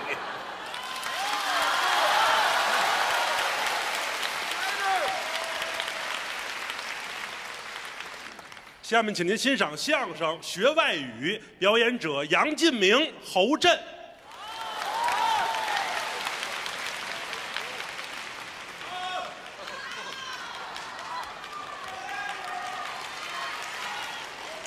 哎，谢谢刚才啊，啊，郭德纲于谦儿是人家一上台，又打雷，又打闪，啊，到我们哥俩这晴天儿了。晴天儿还不好吗？其实其实没事儿，我们都很习惯这种事情了欢乐满大厅，啊。演员显其能。哦，来到德云社，我叫杨进明，可以鼓掌了。哎，一套一套的。感谢大家稀稀拉拉的掌声，谢谢。这掌声再热烈一点更好了。楼上的行行行，还还，这个这是没开灯，这就一层，没有没有二楼了。您您可能来的少，后边的哎，后边行人都人都来了，何乐而不为呢？啊。今天鼓掌的打牌把把胡，不鼓掌把把点炮。就是大家在一起打牌呀、尊敬的各位领导、啊各位来宾、各位贵宾、各位嘉宾、各位外宾、各位先生、各位女士，在座的朋友们，大家晚上好！这个老艺术家就是不一样往这一站呢，啊。大家就报以热烈的掌声，这不是您要的掌声吗？呃，证明 证明在座的朋友认识我。啊，电视里头啊看过我的录像，是电台里听过我的广播啊今天在北展，您算见着活的了，好，就还给自己说死了，您这对是，说死了，见着本人了。啊？首先自我介绍一下，您介绍吧。我是新加入德云社的相声演员杨金明。这就说两遍了，啊，再着重的介绍一下我旁边的搭档。介绍我。啊，姓侯啊，叫侯震。啊，嘿，不，这个虽然我比您年纪小啊，啊。但是您这么介绍不合适，怎么了？不能走小折呀。啊？姓侯，啊，姓侯，对，不是猴，猴在隔壁呢。怨我怨我怨我，啊，姓侯，是，侯震。对，啊。啊，谢谢，谢谢。他小时候啊不记事儿，我小时候谁都不记事儿，二十几岁啊他记事儿了。我二十几岁我才记事儿他爸爸在叫跟前儿啊宝贝儿，出去，人家要问你姓什么，啊，你就说我姓侯。二十多岁才告诉我，当时啊，你满心的不乐意，我还不乐意哎，埋了埋开，窝了窝囊，一咬牙一跺脚，啊，哎，姓侯姓侯吧，我就这么大气性，你姓侯，姓侯啊，坚决姓侯，那坚决姓侯，永远姓侯，永远姓侯，你要姓侯呢，不是东西啊，不不不是不不不，这这不能绕的人啊，嗯我我就得姓侯，侯震。哎，啊，相声世家。可以这么说。要提他爷爷，啊，过去是相声老艺术家侯宝林侯先生。哎是，再说他的三叔，啊著名相声表演艺术家侯耀文侯先生，是，也是我的师傅。啊，我跟德刚，我们俩是同门的师兄弟。就是您老了一点，他们那个相声世家，相声可以说是非物质、非文化、非遗产，那就什么都不是了。您说这个，那应该是你这非物质文化遗产，啊，非物质文化遗产。对，是吧？今天呢，是我德刚师弟，呃，跟我师傅拜师十五周年。啊，为了纪念我师傅呢，搞了这么一场演出，对，来了这么多的朋友，来了这么多的观众，啊，大家还得花钱买票，谁都得花钱买票这就不够朋友。啊，来就来吧，看看相声花什么钱啊？买什么票？等会儿下场你找郭德纲去啊？啊，就说朋友们来捧场，啊，首先非常的感谢是，啊，我给代表我郭德纲向在座的朋友表示啊一个美好的祝愿，您怎么表示啊？祝愿大家啊一帆风顺，哦，二龙腾飞，三阳开泰，四季发财，五福捧寿，六六大顺，七星高照，八方来财，九九归一，十全十美。还好还好，不错不错。那个十一呢？来来，国庆快乐！说这人多缺德啊！我怎么了？他后边来个十一，我往下说呀。这亏着有这十一。十二、十三、十四，往下说呗。今天啊，啊朋友们来确实非常的热情，那当然了。主要捧谁呢？啊，捧郭德纲。那是哎，德纲、于谦儿，是吧？咱们就是小菜儿，咱们这给垫个场，让他们场让他们休息休息。是但不过呢，我也责无旁贷，啊因为我也是侯耀文先生的徒弟。啊，观众既然来了，我给大家这么唱一段祝愿歌。怎么着？这身体不好？住院歌，住院歌，你你这身体不好，自自自己住院就别告诉别人了。您这住哪个院呢？不是您住院歌愿望的愿。啊，愿望的愿。今天来的观众朋友们、老年人、小朋友、年轻的小伙子、年轻的姑娘，啊，我给大家带一个美好的祝愿，吓我一跳，我以为你要众筹来呢。你这祝愿大家在新的一年里心想事成啊身体健康，万事如意。行希望大家跟着我的节奏，好不好？啊，听一听，听一听。在这个愉快相声晚会上，我和在座的朋友欢聚一堂，愿大家驱散往日的忧愁，忘掉过去，奔向前方。祝愿老年人阖家欢乐，心情舒畅，福寿安康。祝愿小朋友好好学习，天天向上，成绩优良。祝愿在座的小伙子越长越帅，美丽的姑娘越长越漂亮。祝愿美丽的姑娘找到个好小伙子，祝愿那小伙子呀找到个称心的姑娘。愿你们甜甜蜜蜜，亲亲我我，白头到老，地久天长。当你们幸福时刻，可不要把我忘。啊，因为我现在还没娶二房。娶不了了，娶不了了，知道吗？二胎是开放了，你可以想想办法，开放这岁数也不行，是吗？哎，就是给主要是给惦记二房，你这是不是？主要是给大家呀带来一个美好的祝愿。确实好，确实好。哎，相声演员四门功课啊说学逗唱，对，唱的是我们必须要掌握的啊这一门艺术。但是您您唱的这个就老点儿了啊，老点儿老点儿，太老了，然后这现在在学嘛，你得有新的你现在比如说相声演员啊。啊，光是说学逗唱四门功课不行了，这四门还不够吗？二十一世纪啊，跟世界接轨，对，必须要掌握一门外语。哦，那这是很重要不懂外语，出国见着外国人啊，就容易惹起那个麻烦。有误会是吧？哎，啊前些年我去一趟泰国，干嘛去了？因为不懂这外语玩儿去了，啊，玩儿不是不是旅游嘛，不是看病去了哈？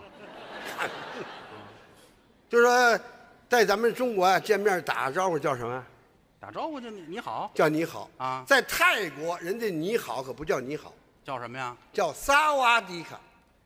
哦，这我听过。这萨瓦迪卡也是你好的意思。萨瓦迪卡嘛，这哎，萨瓦迪卡啊，在咱们中国呀，称先生啊、女士啊、小姐，在泰国人家先生不叫先生，叫什么呀？叫屁，先先生叫屁语言逻辑也不一样。啊？在咱们中国跟您一称呼侯先生，对，在泰国不跟您叫侯先生，叫什么呀？先生啊放在前面，姓氏放在后面，哦，这是倒装，这这我明白。跟您一称呼啊，叫屁猴，到我这儿就就屁猴了。屁猴，哦，那您这你你杨先生呢？屁羊啊，王先生、屁王，李先生股屁股，啊？屁股有。你想想，说错了，李先生的屁李啊，啊，喷眼啊，姓古呢，他叫那这屁呢。股，哎。啊，，所以说从外国外回来啊，我把外文加强了学习，您这也不怎么样。把外文大致分为两种。哪两种？古代文和近代文。古代文包括希腊、拉丁、希伯来文、梵文这么四种，近代文包括德文、英文、日文、法文。啊，为验证我学习成果，走遍了世界很多的国家。您都去过哪儿啊？英国，啊，英国去过。英国我去过，啊，英国我去过愣敦，愣敦得蹲死，愣啊，愣敦就蹲死了，蹲死干嘛？那叫伦敦。伦敦，哎，轮着蹲，不是轮着蹲，人就叫伦敦。对我也叫伦敦我也去过伦敦。伦敦，法国，啊法国我去过，法国啊去过巴了，多大巴了？那个就那么大的巴，哎没听说过。巴黎巴黎啊，巴了差不多。差多了，就是巴黎美国我去过啊美国去过扭腰啊，对，还不扭死你呢？扭死干嘛呀？扭腰像话吗？对啊纽约。啊，嘴还得撅起来。纽约，对了，纽约，所以从国外回来啊，啊我这个外语有很大的进步。中文你可不会说啊，了伦敦语，啊？伦敦语我说的好。是吗？哎，知道这个叫什么吗？这这个话话筒，啊，中国人叫话筒，外国人不叫话筒，外国人叫什么？外国人叫啊麦克风，您这您这也也不怎么样。麦您这麦克风，钢笔，钢笔叫 pen，铅笔叫 pencil，书叫 book，后边加 s，很多的书叫 books，还是一十万、二十兔、三十岁、四十富，二人分手，goodbye，见面问好，how to do。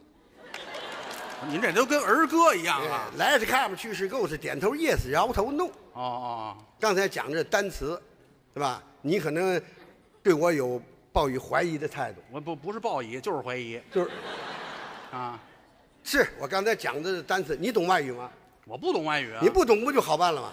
那不你打算骗我是怎么着？我骗你干嘛呀？你要不懂呢，我给你讲的深一点哦，啊；你要懂，我给你讲的浅一点。我我不懂，您讲讲吧哎。刚才你说我说的都单词，对呀，那我蒙了你，我蒙不了在座的朋友啊。是吗？在座的朋友们，是吧？也可能有英语老师、啊，大学教授、哦，大学生，您都会外语啊，那都得会是吧？这样，我当着这个父老乡亲的面儿啊我是说一套完整的外国话，啊，就不蹦刚才那词儿了，你正正经说话完整的外国话是吗让大家给我一个鉴定，就看你会不会说。就看我会不会说这个伦敦语行行啊伦敦语就就说英语就行啊就英语还伦敦语，哎，就英英英语啊就英语。我说一个什么呢？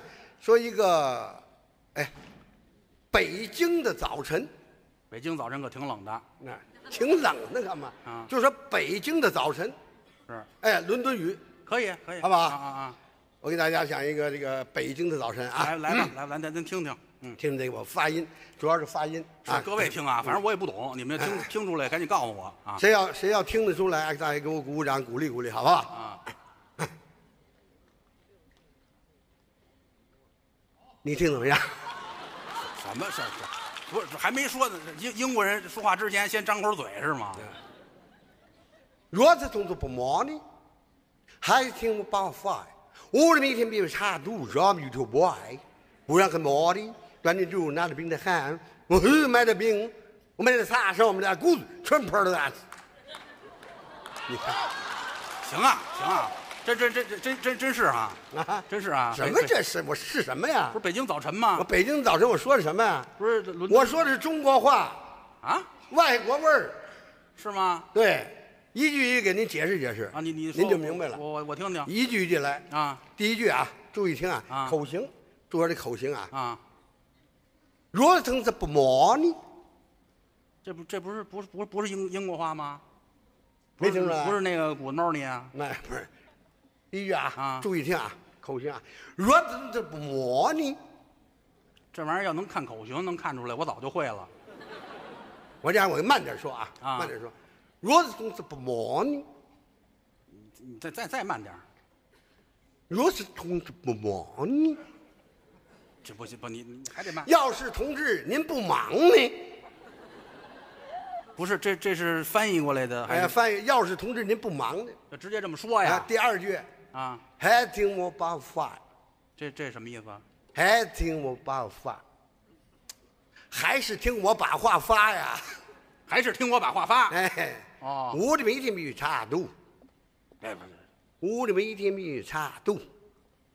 我是每天必须吃老豆腐，我是每天必须吃老豆腐。哎啊，烧饼就外，哦，这这这好像是烧饼油条摆，这我哎，服务员是很忙的，这这怎么回事？服务员是很忙的，哦。端着肉拿着饼在喊，啊，端着豆腐拿着饼在喊，喊喊。谁买的饼？谁买的饼？我买的仨烧饼俩果子，我买的仨烧饼俩果子，啊吃完盘碗都拿去，就连起来这几句话，加点外国味儿，说快一点，跟外国话是一模一样。是吗？钥匙总是不忙呢，还是听我把话。我每天没有茶路上你就不爱，不然很忙呢。咱这路拿着饼的喊，我会买的饼，买的啥少不了，给我全盘都拿去。这还这还，你你别说，这还确实是北京的早晨，这必须得学。得吃早点呀，哎得外国人说话主要是口型，是吧？哎，掌握外国人那个规律。但是但是啊，我这人呢，最拿手就是外国歌曲。哦，合着说那外外语就是瞎掰，能哎唱外国歌。外国歌曲我可不不蒙事，那你要真能唱外国歌也是本事。纯正的，纯正的啊！啊真这样，今天我给大家在座朋友演唱一首印度歌曲啊，这行好啊啊。好唱吧过去大家可能看过一部电电视电影，啊！叫《大篷车》。嚯大篷车前面有一个呃这个主题曲，啊，这大篷车好不好？啊这大篷车，今天我给大家卖卖力气唱这段《大篷车》，怎么样？这个这这这个稍微这个年轻一点的都没听过，我跟你说。不过这样啊，啊，这个印度歌曲呢是载歌载舞，载歌载舞，您呢给我帮忙。我帮什么忙？我不会说印度话，我也不会唱印度歌，你会开车吗？开车会。我听说你有本儿，你有本儿，我我专职就是开车的，我就是这说相声是业余大家都知道。啊。这样，你呀、给我来那个开车那动作，我在这儿我大篷车那开车那动作，你这你合着你唱这歌还差我一司机配衬一下嘛，是吧？显着热闹。是吧？这个不不用吃咖喱吧？你看你我我对我受不了印度咖喱那味儿，我跟你说。是不是啊？啊，来这大篷不车是就是说您您在这儿唱歌，啊，我在这儿开车，是不是啊？我往哪儿开啊？呃往哪开干嘛？你就给配衬一下就行了。就按您那似的，好吧我就跟耍叉似的，我这什么叫耍叉呀？啊，我我我看看嗓子带来没带来？啊，前面有一个高腔儿还有一高腔啊，我还得开车，他有一高腔。行嘿，那这好驴啊！行行，这这这这驴不错，这这什么叫驴不错？好家伙，吓我一跳！我驴嗓子是吧？那可差不多了，您这是那高音儿，这这就为了这哎，高音儿啊！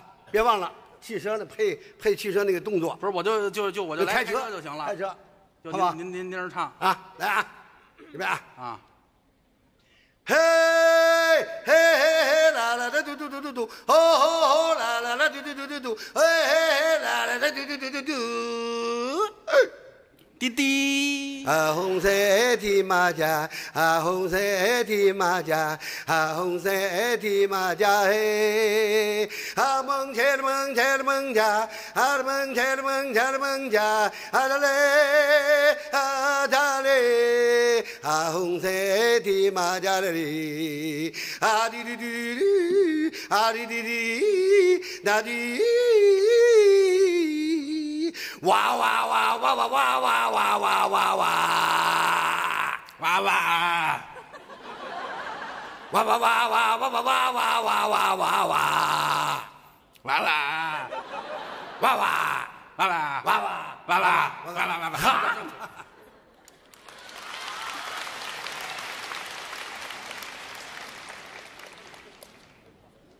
好，下面请您欣赏相声《酒令》，表演者郭德纲、于谦、石富宽。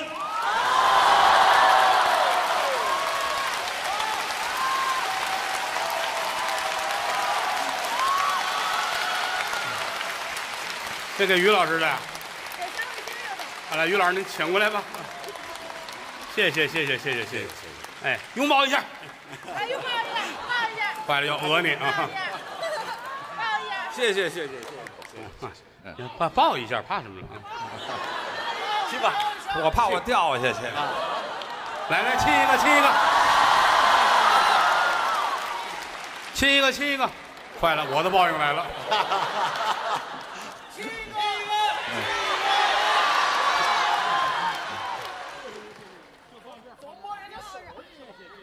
哎，能够参加今天的演出啊，嗯，特别的高兴。搁那儿，搁那儿，搁那儿。我接到这个德纲的邀请之后，我是欣然的接受。为什么？因为今天是纪念德纲拜侯耀文为师十五周年纪念日，对，是是是是，说明德纲不忘师恩，感谢师恩。我作为耀文四十二年的合作伙伴，我深受感动。所以德纲尊师爱幼，为青年相声演员做出了榜样。哎呦，我应该的，应该。发自内心的。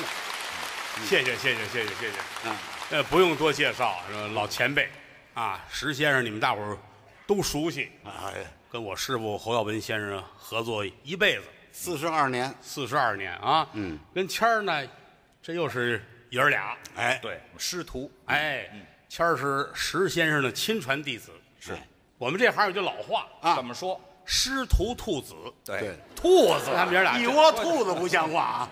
您原谅我这个嘴不利索啊。啊！师师徒裤子，嗨，不是师衣裤子，谁呀？尿了那是。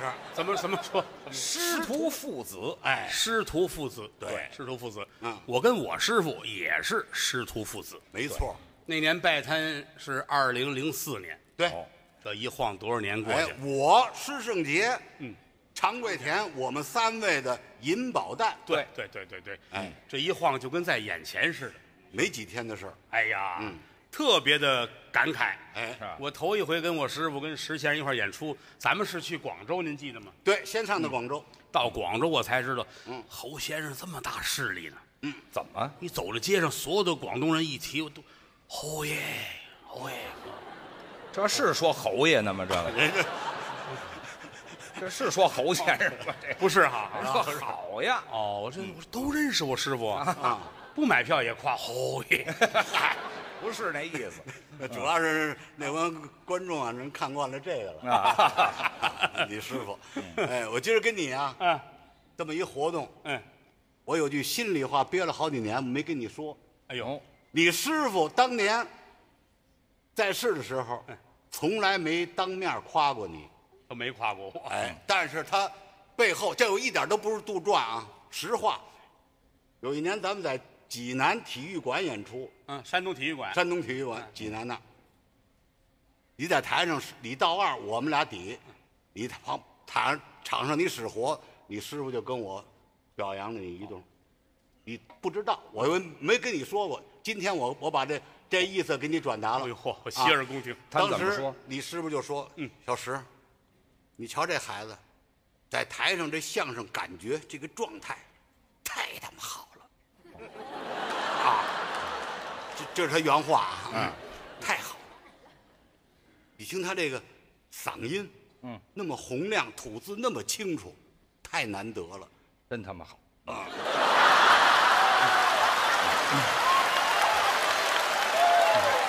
而且这孩子这柳儿就是唱功活唱嗯唱。这柳儿特别好，柳什么像什么，哎，而且难得他有调门儿就是有高音，嗯，难得这孩子有调门儿美中不足啊，啊，就是个儿矮了点儿。哎，原话一个字没编，这是你师傅背后夸你。哎呦呦，啊。我得谢谢您，杨哎先生。我从来我从来没跟他说过，这是真事儿。谢谢谢谢谢谢嗯啊！尤其刚才您要不说那他妈的，我就以为是假的。有这口头语儿准准是。哎谢谢您，谢谢您啊！哎，我给你转达过来，得嘞得嘞得嘞呃激励你今后继续努力。我我继续努力。哎，我师傅啊，这个这个做人做艺都是这份儿的。是他特别可爱，你看他挺严厉，但实际上他是一个小孩儿的心态，老小孩儿，特别天真。对，啊，就是爱玩牌，喜欢玩业余时间玩玩。扑克、麻将都爱玩。对他那个家里有一间屋子是专门玩牌的。哎，哎，他坐在这儿，他后边是个墙，嗯那三面全是镜子，对了，镜子，石老千，嗨，他能看见每一个人的牌。好在我也不会玩牌，他也不带我玩。啊但是徒弟们有的去我们那个师兄弟们玩牌啊、抽烟的都好着呢，喝酒啊。嗯，就我说相声跟他们有点区别啊。这一晃都跟在眼前似的。哎，侯先生这一辈子其实挺委屈。嗯啊，这个咱就拿他这吃来说，啊，对，你都以为这个呵这么大一侯耀文先生得花天酒地吧？没有，没有。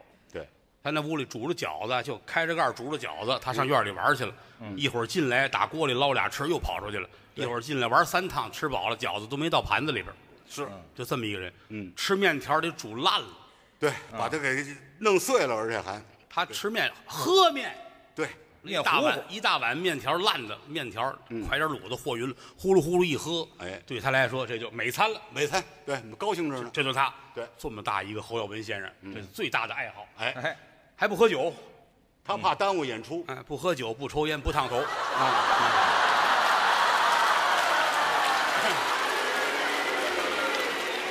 这捧一个扒一个可不行啊！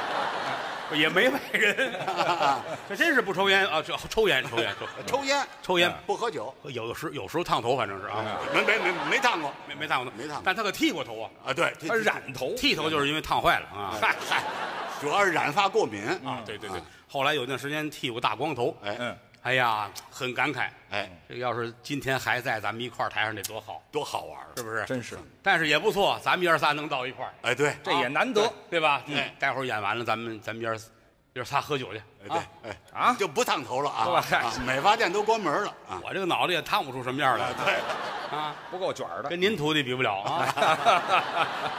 看您徒弟这菊花狮子顶，什么乱七八别吓别吓起名儿。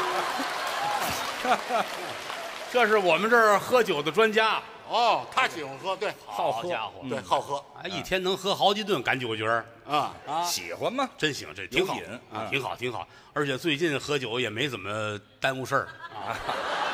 今今天在后台我还问呢，我说这中午喝酒了没有？今儿演出哪敢喝酒？就是。还不错。谦儿哥曾经发过誓啊，喝酒不上台，对，后来停了好几年演出嘛。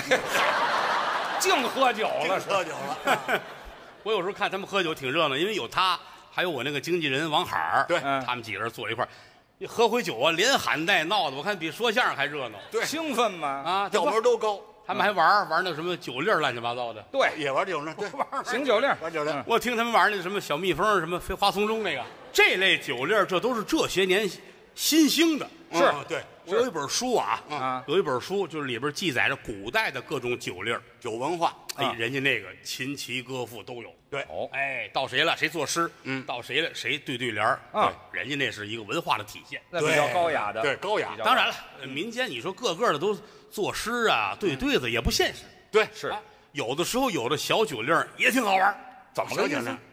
有那个酒令儿您知道不知道？哪个就是猜月份儿月份？哎，分两波儿。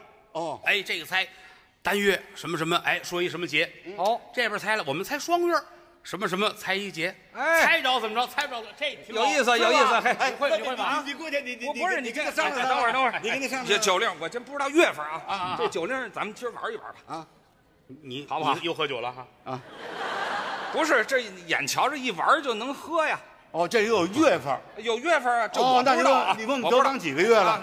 啊这叫什么叫几个月了 不是啊？这月份是怎么个意思？您说说他是这样，啊酒令儿嘛，啊？就作比成样，好比咱们在这儿喝酒了，啊，哦哦哦，做一个文字游戏，好好啊喝酒 你给解释解释。喝酒啊，怎么个意思？哎，然后咱们得不能干喝呀，是啊，得玩儿啊，是玩儿咱们做个酒令儿，做个酒令。一边是单月儿，一边是双月哦。哦，单双月，单月儿里边挑一个节，我挑完了之后，你们说有没有？嗯哎，要有了怎么着？没有怎么着？我说完了，你说，啊你得在双月找，反正是一个单的，一个双的，你琢磨琢磨这事儿。那我我我我我，咱们玩一回啊，对玩一回。分两波，哎，师傅师傅啊，两波，两波，咱爷俩肯定一波，咱咱一波，对吧？对，咱们咱们一块儿。咱爷俩一联手，吃不了亏。对，在但是在月份上我不太懂啊。哦哦哦您您得给我我我这他什么他现在是节日啊？哪个月有什么节？我我有研究，我明白。行，他现在是一个人占单月，啊，一个人占双月。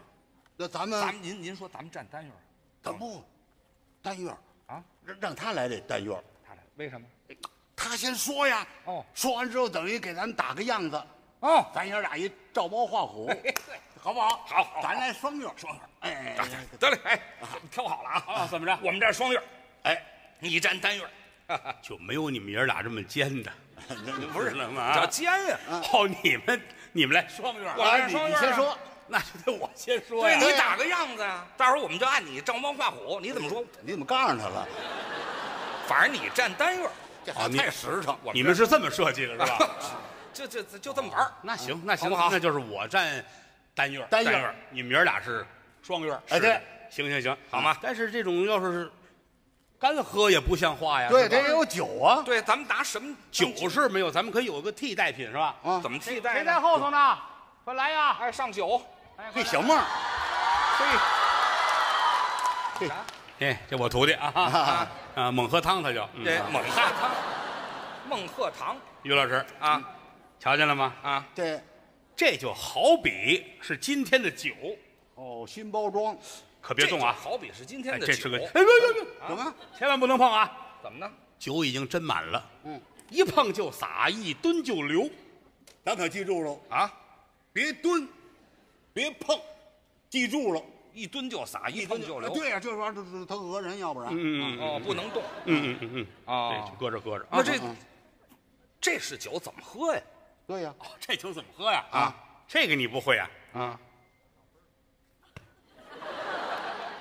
就这么喝就就这么喝，啊，就这么喝，这我有点不明白了。怎么呢？他是单院儿，啊，他要是找着这节日说对了，嗯，政令，这怎么办？对，哎，对呀、啊啊！你要是单月吧，对我单月我单月你要是找着了这节日了，对呀，这这怎么办啊？我找着了这为政令啊，政令可喜可贺，敬酒三杯呀、哦，可喜可贺，敬酒三杯呀、我还是不明白，怎么？可喜可贺，啊？敬酒三杯，是，怎么个敬法啊？对呀、敬酒三杯怎么个敬法啊？啊，这个简单，是 就是这么个敬法。就这么个敬法哦，这么个敬法，啊？我还有点不明白。怎么他是单院儿，啊？他要是找着这日子说对喽，嗯、敬酒三杯。敬酒三杯。嗯，咱是双院儿，对，咱要是没找着，嗯没说对，嗯乱令怎么办？你你问问。嗯，啊，对呀、啊啊，我们要是双月份我没找着，对呀，这怎么办呀？哪为乱令啊，乱令这怎么办？罚酒三杯呀、怎么罚呀？啊啊，对对，怎么罚呀？怎么罚啊？又又三下。就这么罚。哦，就这么罚啊？我还不大明白。师傅，我明白了。这么会儿我七杯了，我知道你能喝，我 那也不能这么喝，咱们得跟他玩儿啊玩玩玩好吧？好了没？可以了，都明白了，明白了。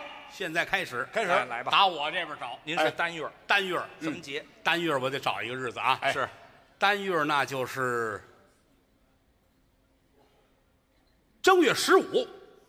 正正正，他找着了，正月十五。问他什么节呀？哦，呃对对，正月十五什么节呀？元宵节呀，哎，这元宵节呀，有吗？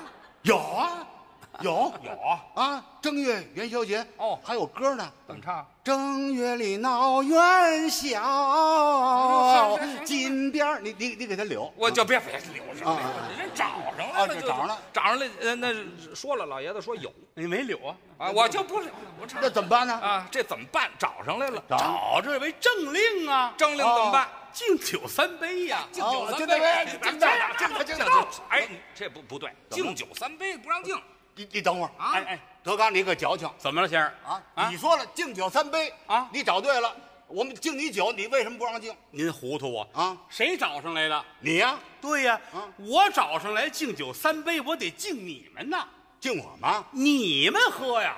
那你要没说对呢？那我错了，我喝呀，那现在你们喝呀。我爷们儿啊，喝去啊，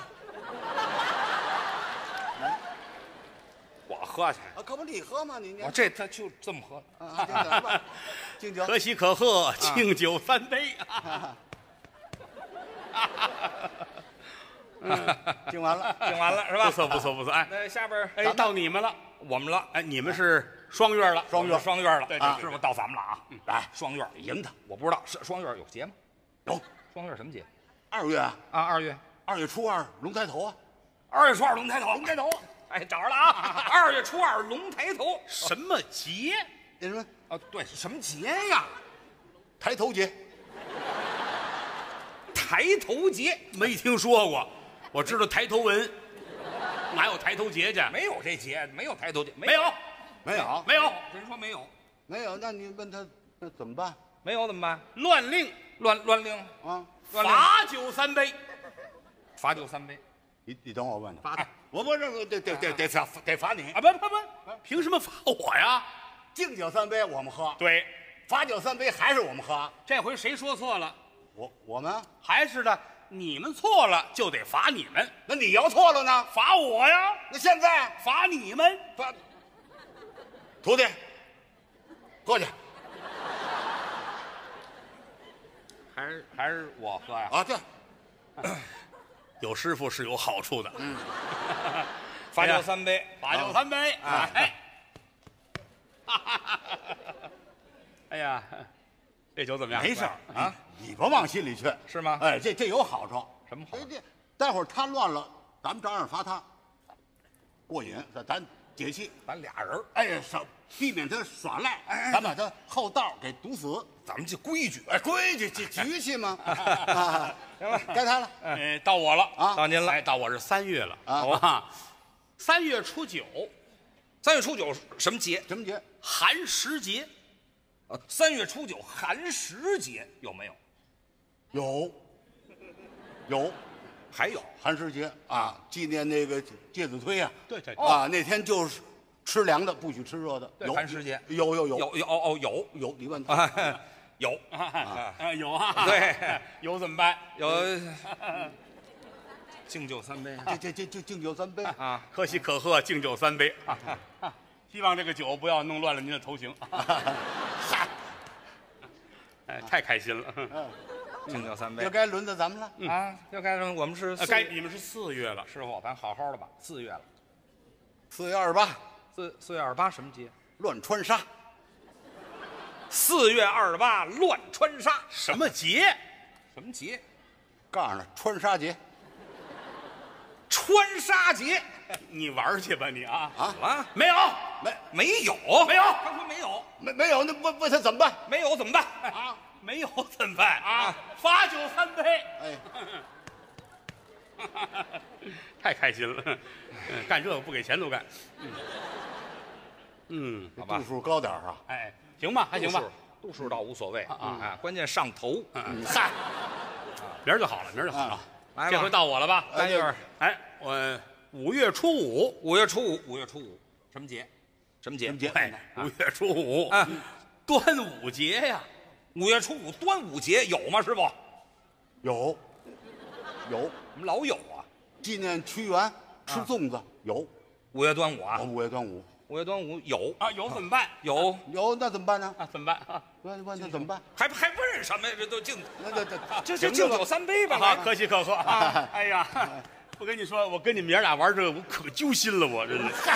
我老怕上你们当，你这真过瘾。嗯嗯啊嗯，又到你们了。行了，哟啊哎，师傅啊，我可喝了半年了。哎，是，咱找一个节，六月有没有节？有啊，六月什么节？有什么节？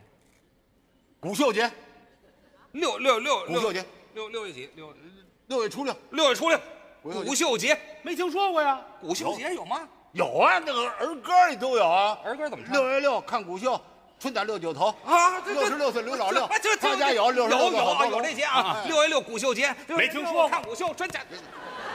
不知道，愣惯呢，您这属于？没听说过，不知道。嗯，您说没有？没有啊？啊那怎么办呢？怎么怎么办？都喝完了，我都 嗨，嘴急啊啊！这这是嘴急的事就。到我了啊！七月七月七月七，七月七什么节？七巧节。哎，七月七是不？七巧节有吗？有，有牛郎织女有，人您说对了，有啊，来来，有，哎谢谢石先生的疼爱。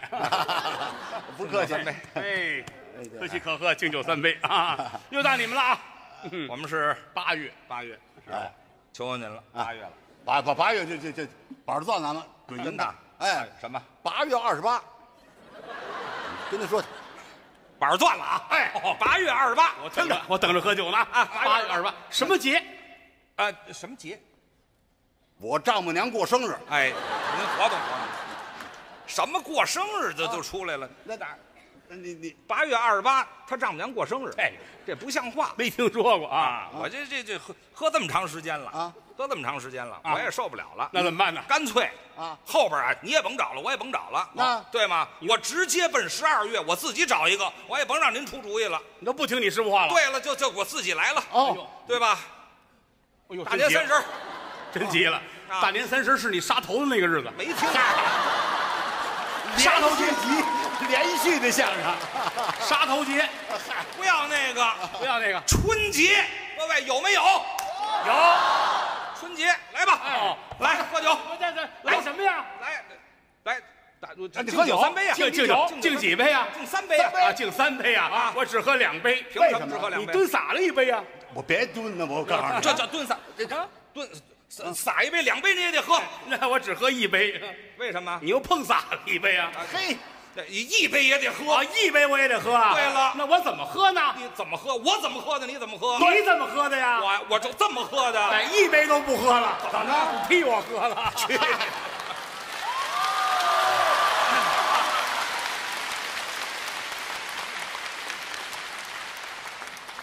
下面请您欣赏相声《结巴论》，表演者高峰、栾云平。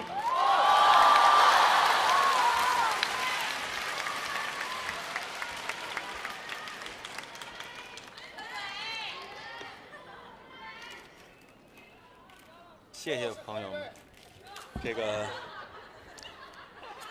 刚才是几位老先生啊，可以这么说，这个于谦老师啊，也已经五十岁了，也不容易，年过半百的一个妇女啊，站在舞台上来讲啊，您是看出本质来了，哎，这个说相声说了都有几十年了，是。郭德纲先生、于谦先生，今天还特邀的石富宽先生，嗯给大家呢奉献这么一个传统的节目，对叫酒令儿。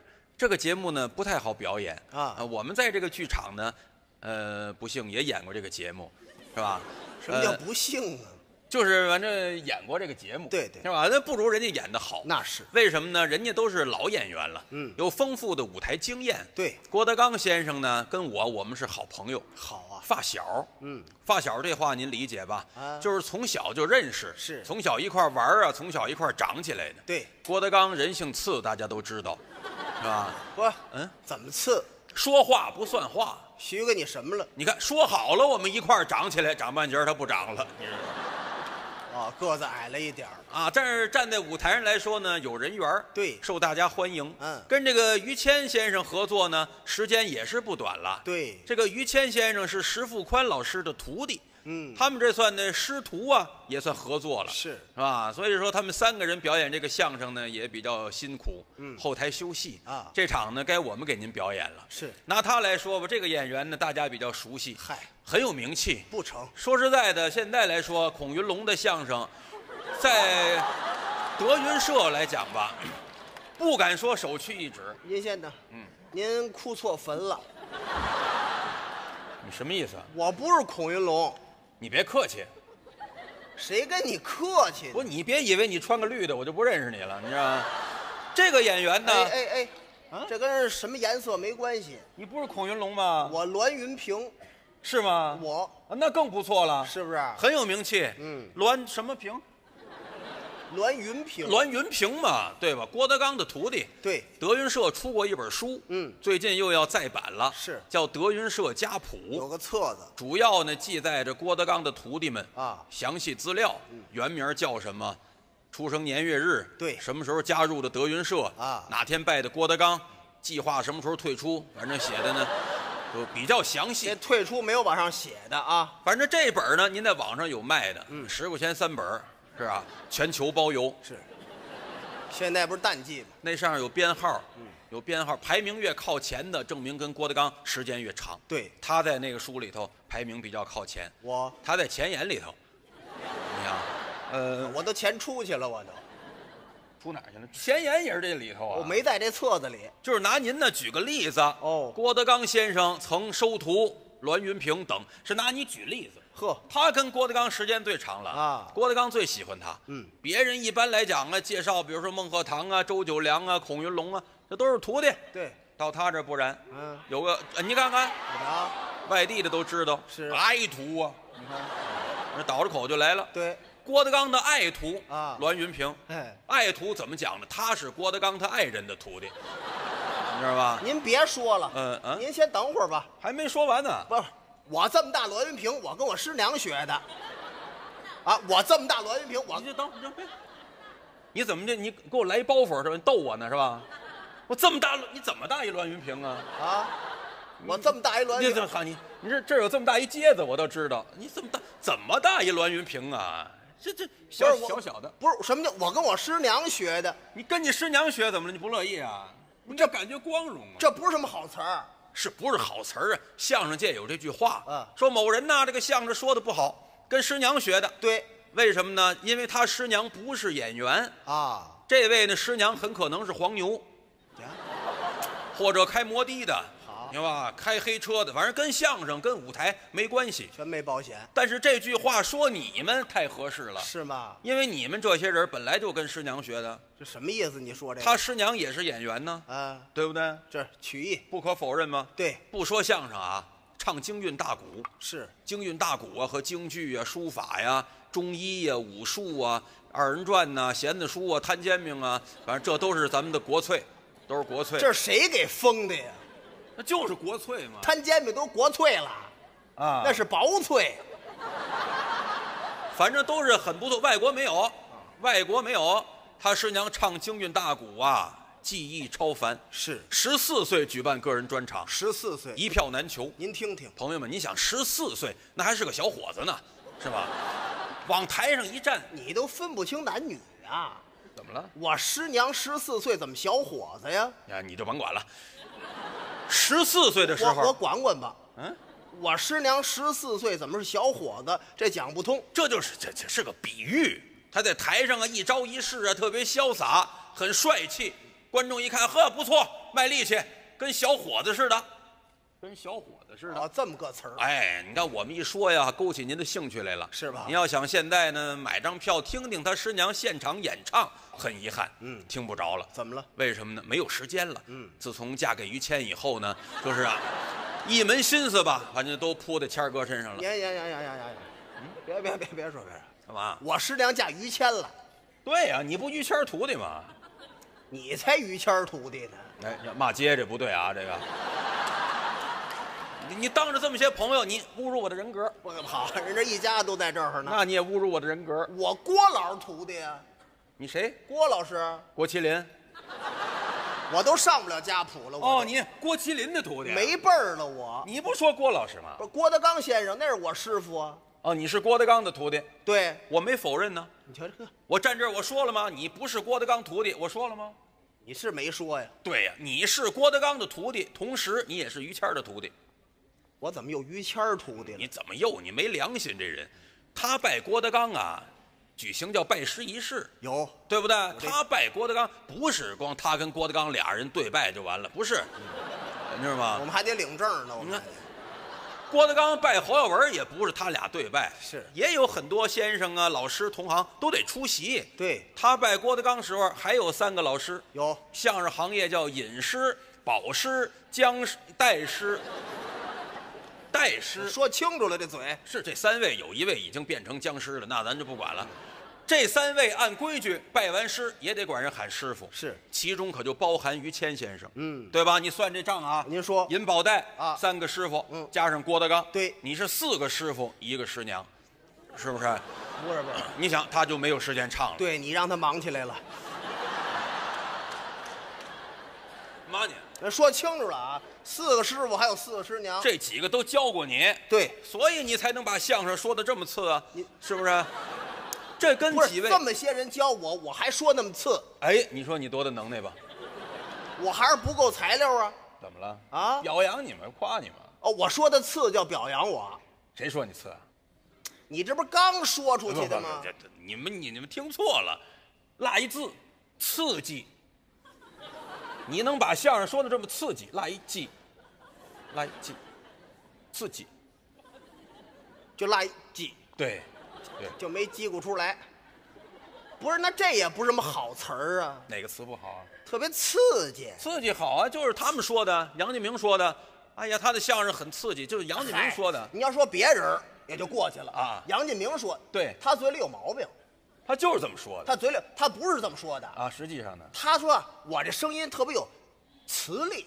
对啊对对，他说我这声音特别有磁力，就我这声音有磁性，什么玩意儿？有磁性，哦，你看来到北展长能耐，是不是？您是磁性，你怎么有一句添一句啊？你大家都听见了，他在这说两遍，我是雌性，你说两遍，我是雄性，那你你提雌性啊？声音声音雌性，哦，他本人是雄性，声音是雌性，二椅子，二椅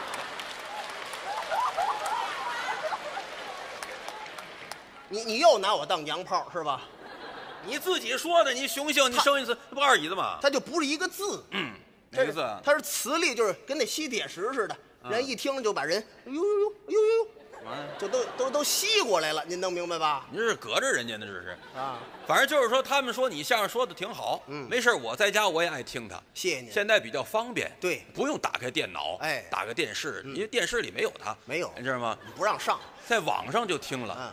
网上那软件叫珠穆朗玛，你拿手机点开之后，您呀、您又去错地方了，嗯嗯，这叫喜马拉雅，我说的呢，珠穆朗玛，啊对，反正离得都不远嘛，都不远。都够冷的。我在那上我就经常听他，哎啊，我不在线听，我都下下来听，好，对吧？在线容易卡，对知道是卡了，不知道以为你尺寸有问题呢，是不是？他们都说有问题。对对对，我就下下来，在家没事儿，我也没别的干，嗯在家我就下你，每天在家，是吧？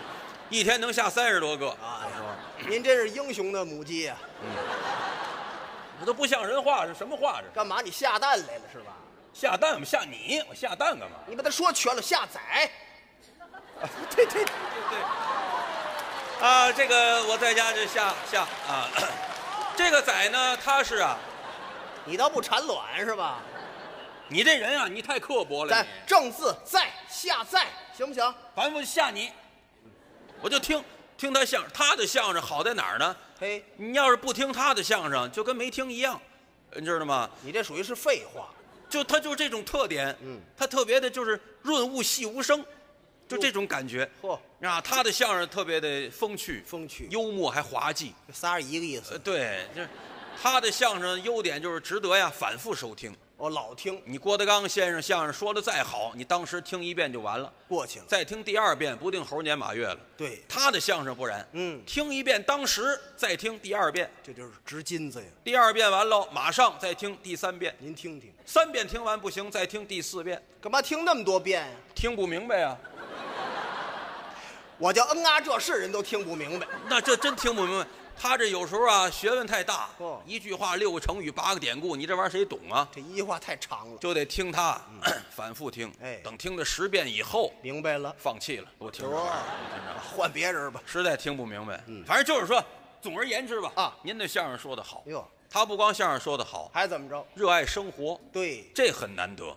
他最大的爱好就是喜欢活着，要喜欢活着，谁这这有有有活的特别在意。有喜欢死的，早上起来出去还健身呢，锻炼锻炼。每天早上七点，对每天早上七点刷牙洗脸，穿好了服装就奔那个三环主路逆行散步。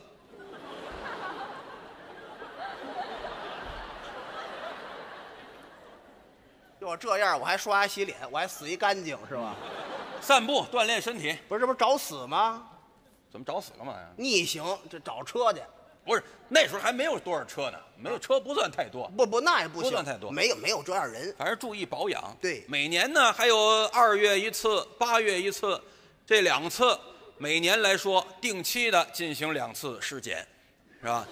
所以说呢，体检，体检，嗯，体检，对啊，反正就检查尸体吧，身体，检查身体吧，哎每年检查两次，身体恢复的不错，嗯，现在就算挺好。我也没有什么毛病啊。对呀、因为你经常检查呀，哦，老检查就得不了病啊。是啊你天天体检去，永远得不了病啊。有病就发现，及时治疗，好了，对不对？天天也没有天天体检，他这个人呢，就是爱好生活非常广，什么都喜欢，是吧？喜欢找刺激，找刺激。喜欢探险。你这一般人谁想得到？他喜欢坐那叫过山车，哦，我喜欢这激烈一点。对吧？它刺激啊。对，在网上买了一套过山车，是吧？这赶上双十一的时候呢，怎么还忧家去？我们家多大呀？怎么了过山车能悠家去，对呀、过山车呀、我能坐吗？能就这么大那个模型，嗨，一按电钮，它这这转，逮一蛐蛐绑在上头，你知道吗？啊，那蛐蛐下来直啐它，你知道吗？反正就是各有一号，这蛐蛐之间搁那儿说相声，他他喜他喜欢这个，喜欢这个，他本人他也坐下，上游乐场坐过山车坐，还有那个叫什么玻璃栈道。有。啊，玻璃栈道，他在上头，他在上头站在上蹦啊蹦，踩碎了算啊，玻璃栈道，蹦迪蹦极蹦极。我到了蹦什么呀？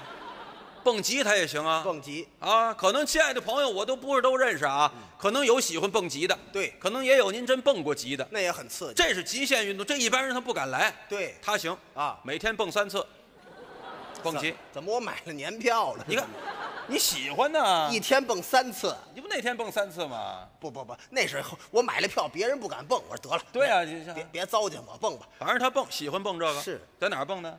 哎，十度北京地名，对叫十渡，嗯他在那儿渡的，啊，十渡他在那儿蹦极啊，挺高的，八十多米，八十多米，八十多米愣往下蹦，这东西一般人受不了啊。他心理素质可以，没问题。但是他蹦的时候呢，一般来说给拴绳子，你知道吗？拴绳子，还有不拴绳子的呢？这咱后来才知道，是吧？挺粗挺长的绳子，拴上之后这叫保险绳。对拴上就没事儿了。嗯啊，拴上拴绳子，拴上，拴上之后呢，还没蹦，先勒死了。勒死了。有拴这儿的吗？不拴上不保险吗？拴脚脖子，拴脚脖子。对啊对对，拴一个脚脖子，拴一个脚脖子，拴一个脚脖子。我蹦一下，这掉螃蟹来了是吧？掉螃蟹干嘛？这不蹦吗？不不，俩都拴上。俩拴上哈。对对对对，他跟他媳妇儿一人一个拴一块儿，然后呢，就走下去。不不，没有这样的啊。嗯，我这俩都拴上。他不拴，对对，啊不不不，他不蹦。他不蹦，他不蹦对你自己蹦。对这个拴上绳子，这就没问题了。那是八十米高的蹦极啊，拴个一百四十多米的绳子，拴完之后，您猜怎么着？多少米？一共八十米。对多少米绳子？一百四十多米，你放风筝来了是吧？这跟放风筝有什么关系啊？你就非得给我说死。不是拴上，你买什么不都希望多来点儿你以为买布的多给我饶点儿？行不行啊？不不，您这太长了，我没蹦过，咱这是多长啊？你嫌长短点儿啊短点儿。拴一三米的绳子，是吧？这三米呢？一共八十米，拴三米绳子，对，拿我当靶子。三米不嫌长吗？那个不是这三米又太短了，三米五，别三米五一次。别对付行不行啊？你说三米几？六十多米，六米，六十多米，六十多米的绳子，对，你看看，八十多米高，拴六十多米绳子，这不就保险了吗？那但是绳子这个东西它是有弹性的，弹出四十米来也不新鲜，是吧？这一弹出来以后呢，嗯玩玩惯了崩弓子了。干嘛呀？不得有弹性吗？那玩意儿多蹬得慌啊！要不然不不，那也不行，那也得这磕我脸，回头多多少多少啊？就往不到十米，是往外抻点儿对吧？对反正他喜欢这个，咱一般人还对这个还真是稍微差点儿他不敢。哎，他行，嗯他跟于谦儿啊，他们都喜欢这个。是啊，郭德纲跟于谦儿没事儿在一块儿，人家不研究这危险的啊刺激人不研究这个，就研究相声。嘿，怎么想办法能把相声说好了呢？弄点新段子、新节目，老的翻新翻新，给大家表演。是你看他俩没事儿老在一块儿，在一块儿排练。对词儿，到了周末就奔郊区了。嗯，郊区那个地方，他俩有一个排练厅，面积很小，按我们这舞台来说呀，有十分之一这么大。嗯，不大点儿。每到周末上午十点，他俩准到，一排练晚上十点不见得走。你瞧，那回闹笑话了，您讲，我跟您说都真事儿啊。嗯，上午十点钟俩人去了，排练一天到晚上十点还没走呢，一圈儿也都累了。是郭德纲出个主意，跟谦儿哥说说那个谁谦儿哥，咱俩排练一天太不容易，我啊出个主意，咱放松放松，打个赌，您敢吗？于谦一听，行，德纲你说吧，咱赌点什么？谦儿哥您呐，把身上衣服都脱了。于谦一听，郭德纲你要干什么？这么多年我没看出来你跟我是一样的人。要么这俩搭档那么多年啊、不不别别，谦哥您先别乐，您别别过来，别别别。已经等不了了。不是我呀，我什么意思呢？您把衣服都脱了我，出门啊，绕着咱这小屋子您跑一圈儿跑一圈儿，你要敢光屁股跑一圈儿去，我给你两万块钱。你看人家一打赌，这点事儿两万块钱。这叫什么游戏呀？于谦儿一琢磨，这点小屋你跑一圈，半分钟都用不了。啊，它短呀。天儿又这么黑，两万块钱，这地方白天都没人来，晚上更没人来了。是，你说的啊，跑一圈给我两万啊！于谦儿脱，小白胖子这白一点。到门口推开门一看，没人，好，跑，来吧。不到半分钟，于谦回来了。嗯，郭德纲掏钱，哎，眼睁回来了。两万啊！你说的啊，你不给钱不是东西啊！掏钱，你说郭德纲给他这两万，他也心疼，是不给不行，你答应人家了啊他有主意，怎么办？往回对付。我不懂。哎呀，谦儿哥，我没想到您这么不要脸。这个您还真跑去，别废话，掏钱两万。那是你看，比如说我要是光屁股跑一圈去，这个钱你还好意思要吗？嘿，他拿面子局人家。嗯于谦一想，这也不为挣钱，不就游戏吗？行，德刚，你跑一圈钱我不要了。好哎，就要你这话，往回捞本儿。郭德纲脱，小黑胖子 这偏黑一点儿。到门口推开门一看呢，是没人。对，甭说路灯啊、摄像头啊，一概没有。他偏呀。跑啊，刚跑半圈坏了，怎么了？对面来四个巡逻的，拿那手电筒啊，十六节电池的，嘿，冲着郭德纲就照过来，哎，干嘛呢？黑更半夜不睡觉，光屁股瞎跑什么呀？刚才你出来一次了，我就没理你，怎么又出来了呢？这两回都安他身上了。您说可乐不可乐？嘿，但是证明什么呢？证明他俩呀认真，是排练相声负责任。嗯所以郭德纲火呀，全国知名啊，啊火起来了。对，但人这一火呀，思想上容易放松。哦，郭德纲头些年也不是没犯过错误，哎呦，您说说这个吧。刚刚火那阵儿啊，认识人多了，嗯对吧？那女明星啊、女模特儿啊、女歌手啊、女演员呢，净那漂亮的，她漂亮啊，您知道吗？啊，她大眼睛，唰他他趁他媳妇儿不在家，他往往回带，我一猜就因为这个。真的啊，就就都你不信您问去，这都真事儿。那回多了，那哪说得过来去是吧？那回带回一个来，还挺漂亮啊，个儿也比较高，到郭德纲这儿，到他那儿一般都这样带回来了。。带回来之后，俩人在客厅里搂着，搂着这话您懂哈？搂着还是俩人搂着，这我懂。刚一搂着，坏了，怎么？听里屋卧室那门响，啊，嗯嗯嗯嗯咣啷啷啷啷啷啷门响，这挺有钱的，换换荷叶多好 就喜欢这种感觉。啊！他拿那当警报器，嘿，要不然你换完了门响听不见了。还是聪明。郭德纲搂着这女的，一听门响，回头一看，还好不是他媳妇儿，嗯，郭麒麟在家呢。哦，他儿子那时候郭麒麟小啊，个儿也矮，挺胖，小眯缝眼儿，跟赵薇似的，是吧？跟谁似的？嗯，跟谁似的？赵堆，我门口那傻子赵堆，哦，赵堆，我以为赵薇呢。不是长得跟赵堆似的。赵堆啊，小眯缝眼儿啊，胖胖。郭德纲搂着这女的，回头一看，哎呦，他管郭麒麟叫宝贝儿。对哎呦，宝贝儿，你哎呦，你怎么没上学去呀？啊，对了，我让你退的学。对对对，是都跟赵堆一样。爸爸后悔了，爸爸后悔。哎，你是不是误会了？是误会。这个这是阿姨是爸爸的朋友，朋友爸爸跟阿姨逗着玩呢。你跟你姥爷不也爱逗着玩吗？是不是？那斗法不一样这。逗着玩呢。给，给你五十块钱，出去上网去，出去上网去啊！奖励你，走。郭麒麟拿着五十块钱不走，看着这俩人，你瞧这模样。你瞧这模样，爸爸跟阿姨逗着玩呢，再给一百，出去打游戏去啊！CS 走。郭麒麟拿着一百五还不走，瞅着这俩，这倒霉孩子怎么会？再给一百，再给一百，二百五走。爸爸跟着阿姨逗着玩呢。郭麒麟攥着二百五十块钱没走，不走不光没走，说句话，郭德纲吓一跳。嗯，爸爸我不走。为什么？上次妈妈带个叔叔逗着玩，还给八百呢。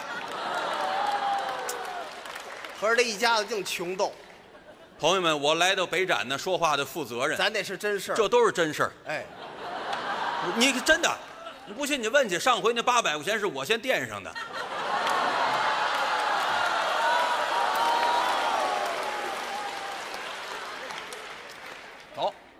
你这么多年我找他要过吗这？整个后台啊，嗯乱就乱他身上了，您知道吗？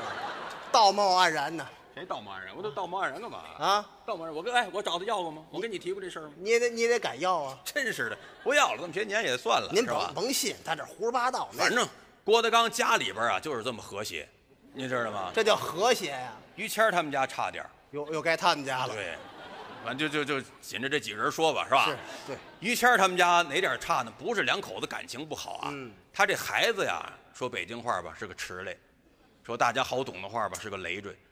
于谦儿这儿子是个傻子，你看看大家笑了，啊，跟赵堆似的。不不是跟还不如赵堆呢。啊于谦儿的儿子，您现在有时候网上您看，呵，这小子还打冰球呢，挺好的，下那国际跳棋下挺好的。不是，不是这个，这是二的。于谦儿还一个，上头还一个呢，跟傻子似的，呃，老这样。于谦儿说：“宝贝儿，过来，呃，宝宝给我买糖葫芦。又爱吃糖葫芦，你倒霉模样，从哪儿来的你？呃，不从你那儿来的吗？这孩子不傻，生理卫生他都懂啊。看这孩子心里就别扭，是不愿意在家待着。于谦儿没事干嘛呢？出门串门去。嗯，对门那家呢，跟于谦儿他们家呢是朋友。朋友到那门口串门，一敲门，开门，人家也有个孩子。哦啊，人家孩子在里边啊，正学那文学呢，文学跟他儿子岁数差不多，是吧打小人就学什么《三字经》啊、百家姓啊、千字文啊、诗经啊，就念这个。这叫国学。一听敲门，里边那孩子说话了。说的什么？外面何人击户？几乎有学问，击户就是敲门。于谦心里高兴，好宝贝儿，开门是我，把门打开，抱拳拱手。哎呀，原来是伯父老大人，不知伯父老大人驾到，未从远迎，当面恕罪。您听听，有学问，于谦羡慕啊。是你爸爸在家吗？到青云寺与老和尚酌棋去了。嗯天早则返，天晚则与那老和尚同榻而眠。哦，喜欢什么都有是吧？往屋里走啊，一看他们家呀养了一条小狗。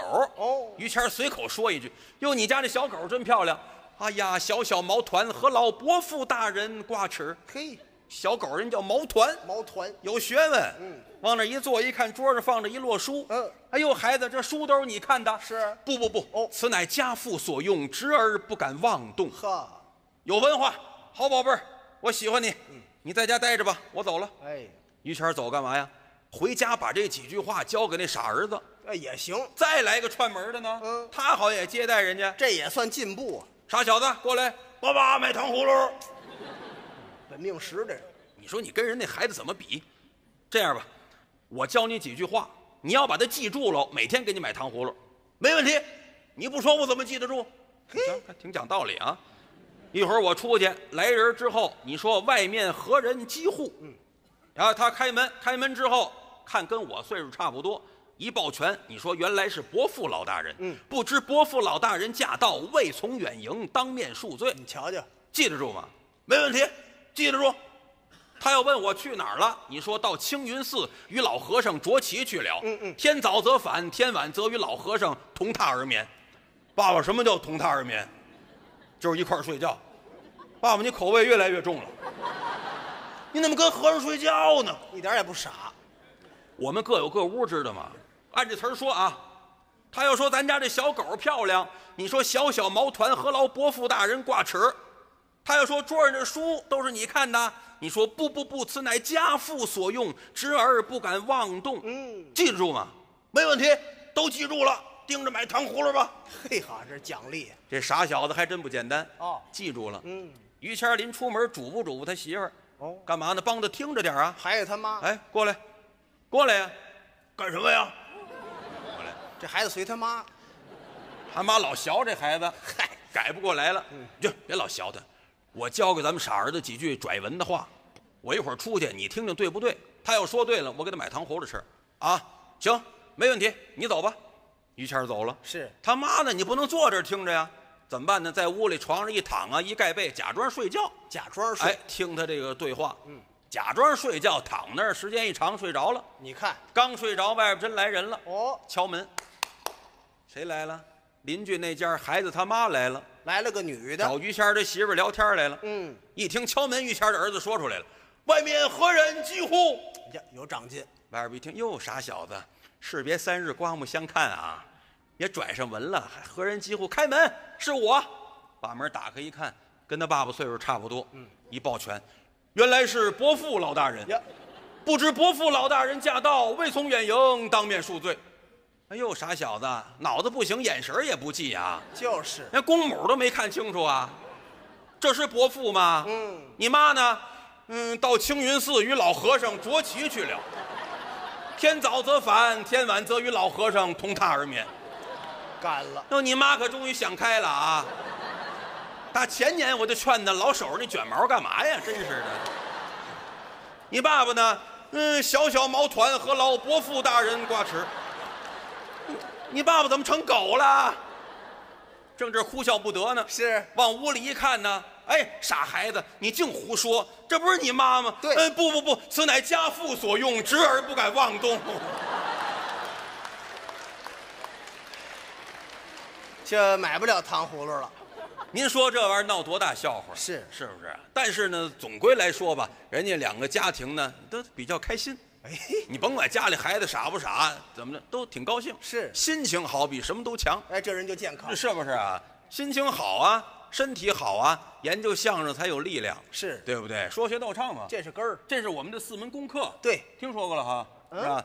这是我们这个，我也说十好几年了。是我我知道啊，啊啊说学逗唱，相声演员四门功课，对又叫四门技巧，是不不简单。说呢，口齿要清楚；得干净。学呢，最好学什么能接近像什么。是逗呢，得把大家说笑了。嗯，唱呢，指的是太平歌词，数唱来宝。这是唱。哎，这属于说相声的唱。嗯，数来数来宝啊，后来就发展了，对变成这快板啊、快板书啊，哎，也是比较品种多样。嗯，品种多样。今天是个好日子，我我给您唱段快板书，您欢迎不欢迎啊？确实是，是不是？确实是。哎，我们这后台来说，唱这快板书的对，就是他了。哎，原来还有叫李文山的，现在还有叫石富宽的，对对对，李文山去世了，去世了。对，就听他了。嗯，他也快点。我且死不了呢啊！我给你，哎，你别闲着啊！你在这儿，你别闲着，你也别老实乐在这儿喂啊。，滴滴，你别滴滴，你在这儿你干嘛知道吗？嗯你啊、在这儿你竞猜，无奖竞猜，你猜猜我唱这是哪段儿？我还还竞猜啊？对你不知道，我我教你得了你叫我干嘛？啊！你叫我干嘛？我你唱完，我告诉你这段叫什么名字，不用你告诉我，你猜你猜不着。甭猜。你要真知道是哪段，咱俩调个儿，我是你儿子，好不好？行，你不是不，别绕着我，马上我要开始我要不掉个儿呢，合着我是你儿子，啊，就这么办。就怎么办了？你你准知道吗？我准知道听这是哪段啊？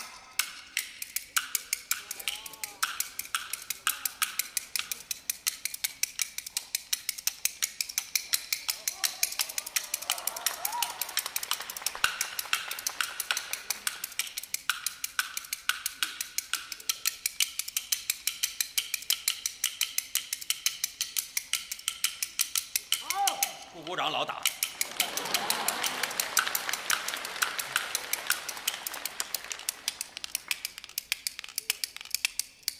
哟哟，疯了疯了！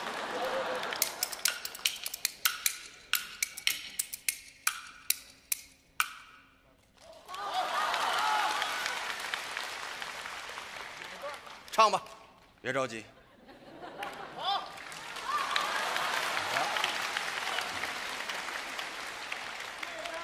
唱吧你。等会儿你看。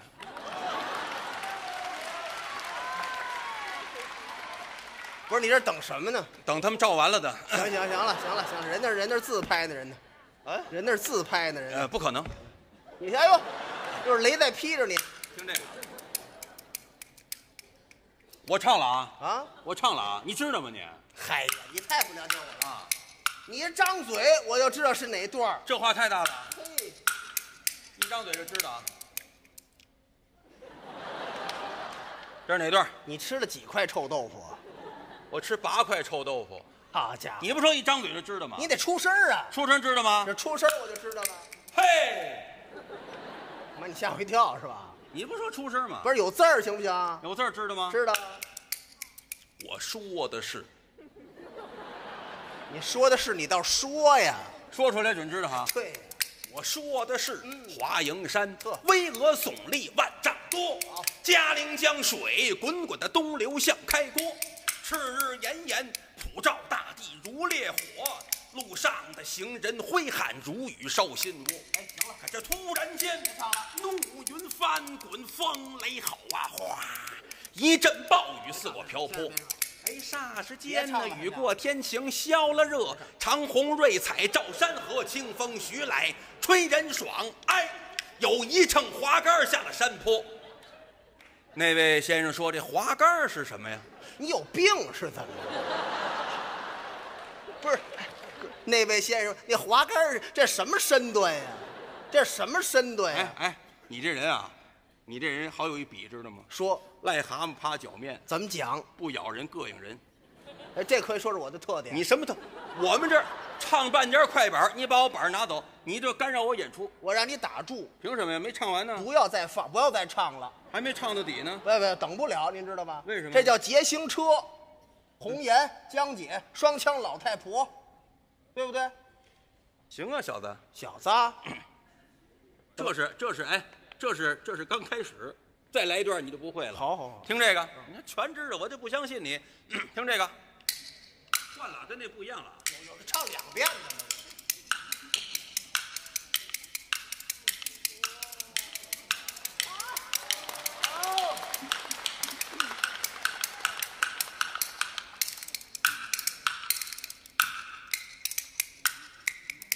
听这个，陈桥兵变，北宋兴，南唐北宋的起战争。赵匡胤兵发寿州地呢，要与南唐打交锋。两军阵前啊打了一仗，南唐败阵呢，北宋人人别别别。双锁山，王凤山老先生这段比较拿手，好不好？我可不给你留面子了啊！我给你不给你留面子了啊，孙子，我，哎，我再来一段，你可就不会了啊，不用不用行吗？不用，听这个啊，唱你的吧。嗯，孙子，哎，这怎么意思啊？这不是啊？这怎么意思啊？这不是上下联吗？什么上下联啊？我叫你孙子，你小名不叫孙子吗？我叫你就是孙子，你甭甭客气了，啊，你就是孙子，你你你就照堆，听这个，你老提我们你赵堆你唱不唱啊？你老提赵堆干嘛？哎呦哎呦哎呦，干嘛你啊？没你甭你甭这碰瓷儿，你甭这碰瓷儿。没一万我不回来了。你你爱回来，你死不死啊你？你听这个哪段？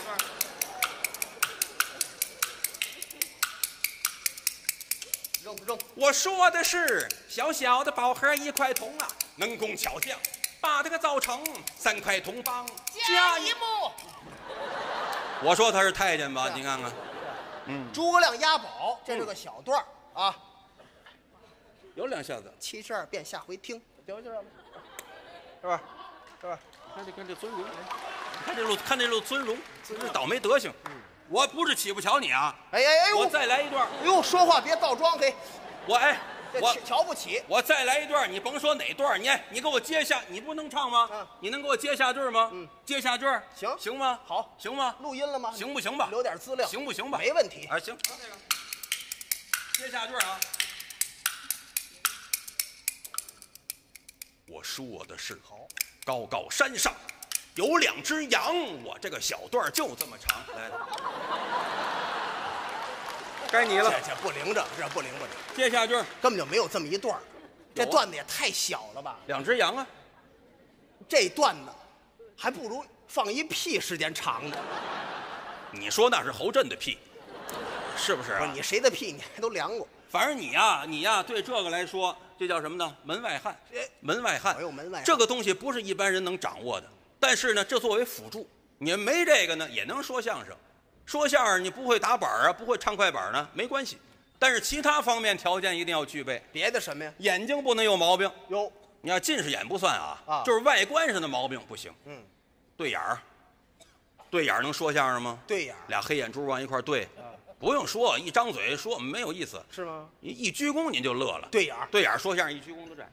这回我们给您说段相声，你可别回不来。对不对？这样说相声抬笑大方了，是不是？这个台，您您这您就够台笑大方的。怎么这是个成语？台笑大方嘛，成语嘛。这字念台呀，念什么呀？念不台啊？姨姨呀，对呀，台笑大姨了，是吧？这个台笑大姨，多门亲戚。哎对，反正这对眼儿说不了相声嗯，斜眼儿也不行。嗯，斜眼儿，眼睛往一边斜。哟，朋友在这儿呢，得这样说话。大哥，您挺好的，嗯怎么不请我看电影啊？大哥，你别走啊！哦，没动，没动，也不动没动。这都说不了相声。斜眼儿斜眼儿说不了相声，斜眼儿可以当诗人，当诗人。谁哪诗人斜眼儿？那古代大诗人陶渊明就是斜眼儿，不是你见过他？那不用见，那诗里写出来了不是。你念的念的？一提大家都知道啊。哪两句采菊东篱下，悠然见南山。斜眼儿，你你说你这还用解释？采菊东篱下，在东边采菊，悠然见南山，他看见南面那山了。你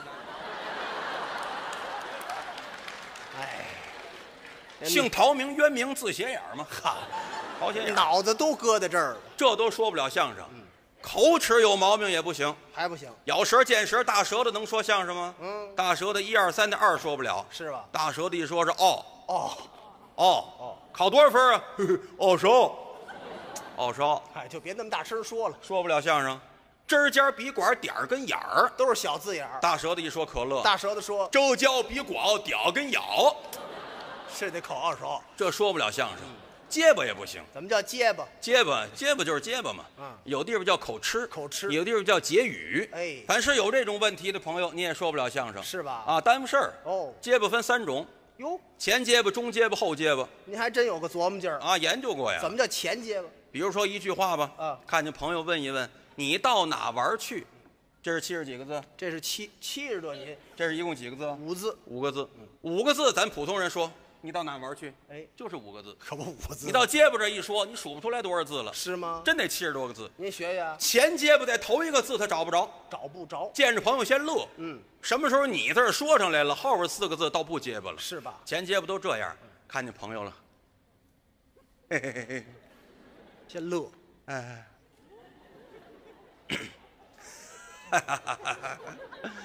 哎，哎，哎，哎，哎，哎你，逮着这你了，逮着了，在你上来回转圈是吧？哎哎你，你你你你你，哟，哎你你你你你你嗯嗯，你，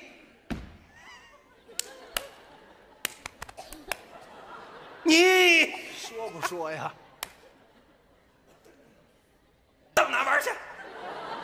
啊，后边倒挺痛快，后边这四个字到哪玩去？一点也不结巴。是吧？前结巴特点，那中结巴？中结巴在道字儿它转。又改这道了，看见朋友了，你到，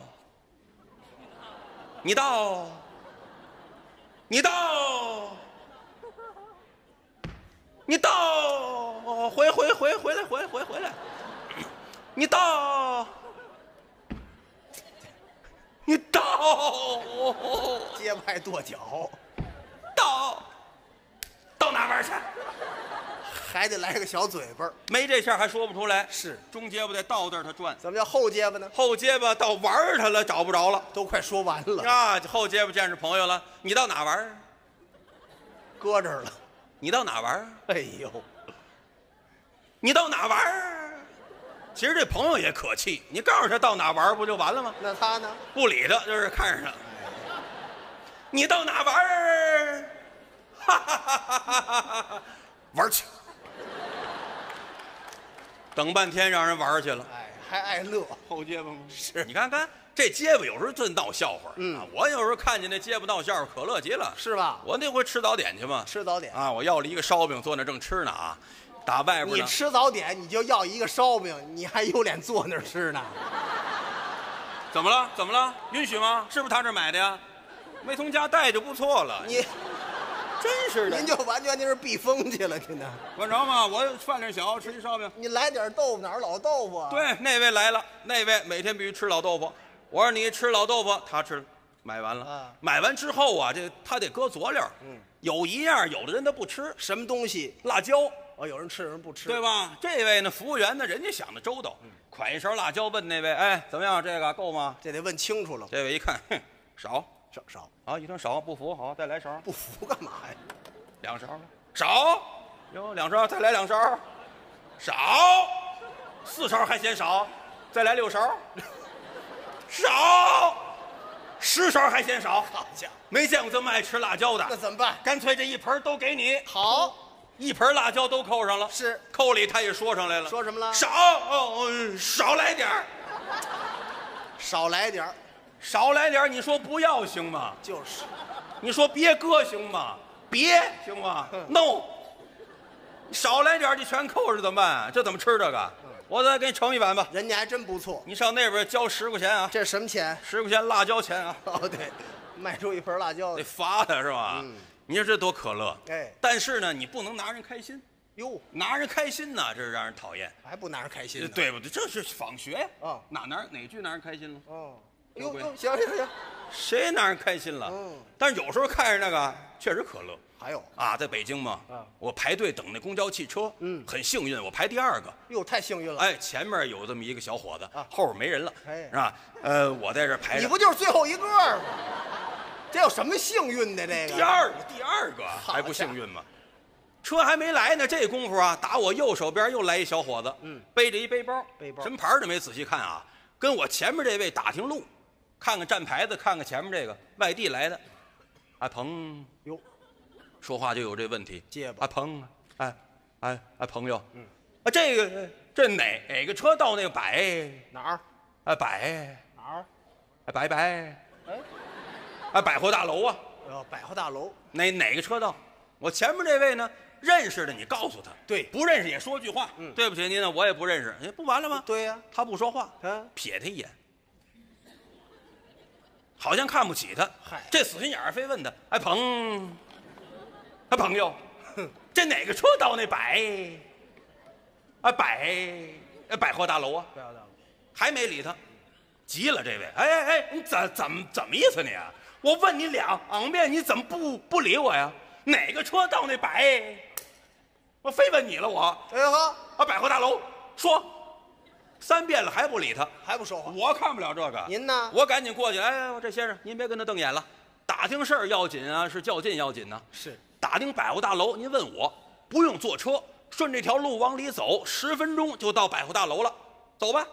他受感动了，拉着我的手，谢谢哎呦，谢。我说别谢了，有谢的功夫你都到了啊。对对对，别谢了。把他打发走了，我怎么也得说说前面这个，是吧哎，我说你这小伙子不像话啊，你你转过身来，啊，都不看你。太不像。你说人家外地来的打听路，本来就够着急的了，眼瞅百货大楼又快关门了，人这时候他多焦虑，你知道吗？嗯你认识你告诉他，不认识你也说句话。人问了三遍，你为什么不说话呢？就说呢，这位一解释，把我逗乐了。他说什么了？嘿嘿嘿，我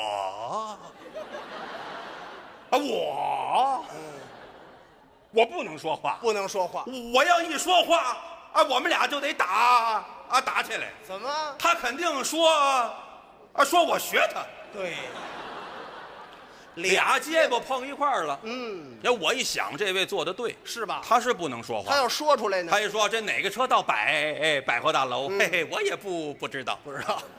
不是学也是学呀。你看看，一会儿车来了啊我们俩上车了，一上车才知道这位不说是不说呀，一说还真爱聊啊。那跟他聊聊啊。排队时候就认出我来了。好听过相声啊啊，聊上了。哎，我认认认识你，你是那个说啊说相声的，说相声。叫高高，我说高峰，对对对对，高高峰说说的不不错，就你那捧捧哏的差点儿知道吗？这什么结巴这是？你你说的最最好那那段叫绕，哎绕，我绕口令，对对对，绕绕绕口令，吃葡葡葡葡萄，不不吐葡。哎呦，葡葡葡萄皮儿。您那一段说说的好，那您那嘴说实在的，那比我利索。有废话，这舌头都快系上了。我还我还挺高兴得到表扬。哎，我们正聊天呢，车又到站了。嗯前门一开，上了一姑娘，哦长得很美丽。很美丽，前门上车，奔着后门走。嗯，有一空座，她没坐，哎，不坐。讲卫生。嗯一拉那拉锁，拿出一个纸巾来，她得擦擦。擦，你说旁边人就讨厌这种行为。对，你要嫌脏，您自个儿开车去，对不对？又拿张纸又擦，至于不至于？又拿毛巾擦，擦三遍，他还真坐那儿了。嗯，刚一坐下，怎么这么巧？什么意思？出了个虚功，虚功说白话就是放一响屁，响屁了声音还挺大。是吧？跟我一块儿上车那结巴朋友说句话，全车人都乐了。他说什么了？哎哎，高高老师啊你看这姑娘多多爱干净，怎么了擦三遍都都不行，嗯她她还吹吹。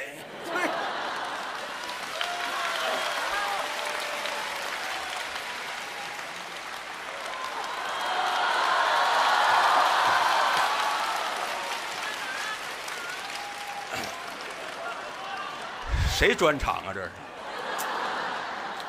朋友们，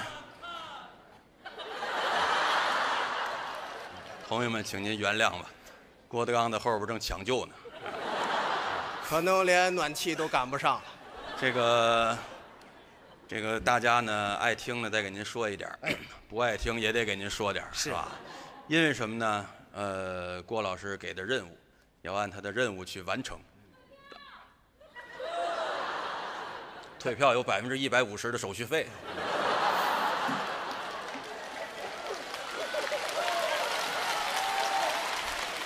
人没喊退票，喊的是尿尿，他尿尿，那么大个子尿尿还是嚷呢。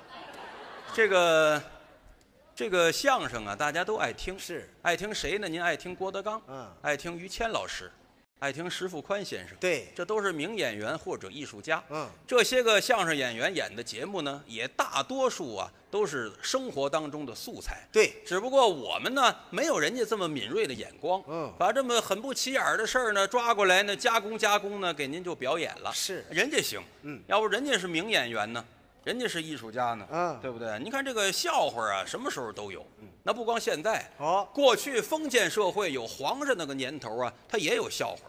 就是以前呀、对，我们这现在再说这属于饶的了啊，反正好坏您包涵啊。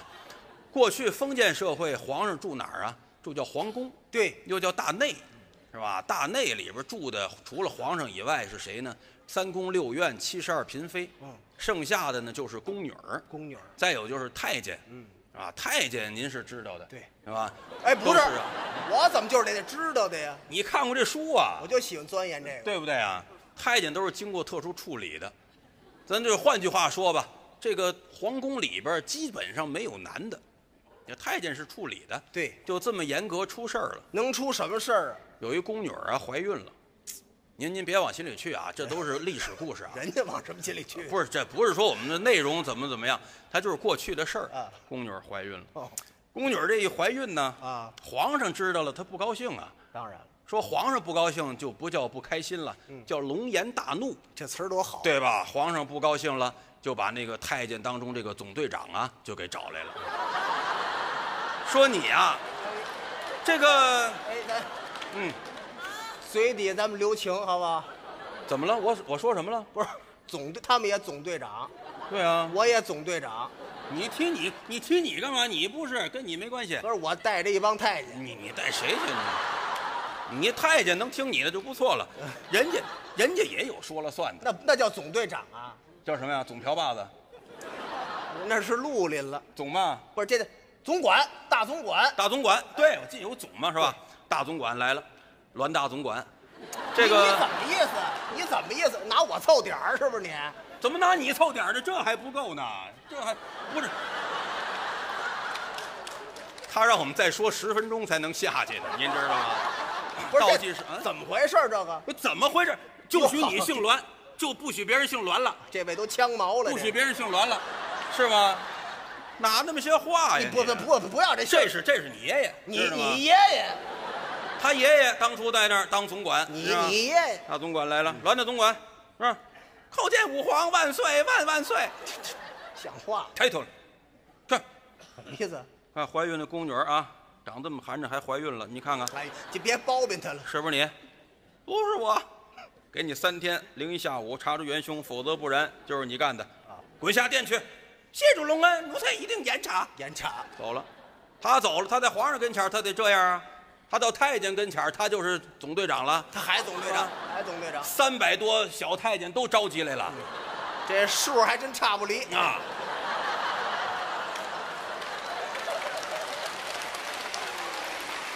他也有部分也也有没给字儿的，你知道吗？都在里头。你你也你也是干到家了，你也是。这边一波，那边一波，是吧？都在一边一。你想一帮太监们，他一说话，他能不乱吗？他也聊天啊。哟，郭公公，召集咱们有什么差事啊？哎呦，于公公，咱家不知道啊。哎呀，侯公公，你别吃了。还吃呢这儿，嗯，这这个倍儿香，你别别倍儿香了。倍儿香。哟，栾队长，您您那边那边，栾队长说您那边那边。这怎么栾队长都出来了？您那个？他们他这名字原名原名啊，大总管来了，瞅着什么呢？站好了，站起，立正，还有点倒听，向爱看齐，向前看，报数。报数，太监都站好队，一、二、三、四、五、六、七、八，打住！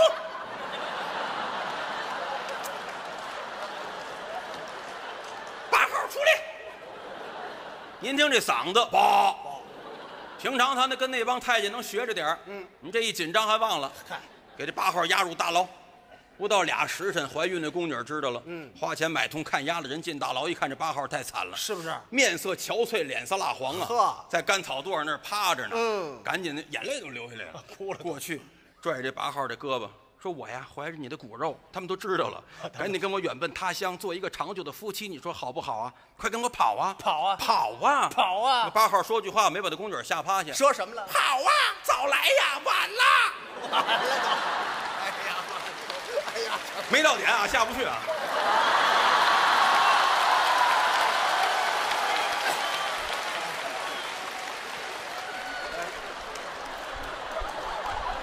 没办法，对吧？有时间控制，然后回去还得给我轰回来，是吧？哎哎，我我跟八号再说一段，再说一段。干嘛你？谁八号？谁八号？你甭管了，你甭管了，你甭管了。再说两分钟啊，两分钟到点了，咱啊，放分钟啊。哎，这个郭德纲啊，这人有意思说啊，有什么意思你知道吗？别忙，我给你编一个啊，编一个两分钟的作文好编，啊，编一个。哎，八百字。那年呢，郭德纲啊，带着我们呢，别挨骂。实在等不及了，你知道吗？这个高八号啊，高峰高老师啊，是我们这儿最认真的一个演员是，啊。刚才又唱快板儿，又说又闹的，嗯，话筒都湿了啊。不至于的，嗯，至于那么湿吗？嗨，没有那样。让他们休息一会儿。哎，我跟于公公啊，怎么着，郭公公？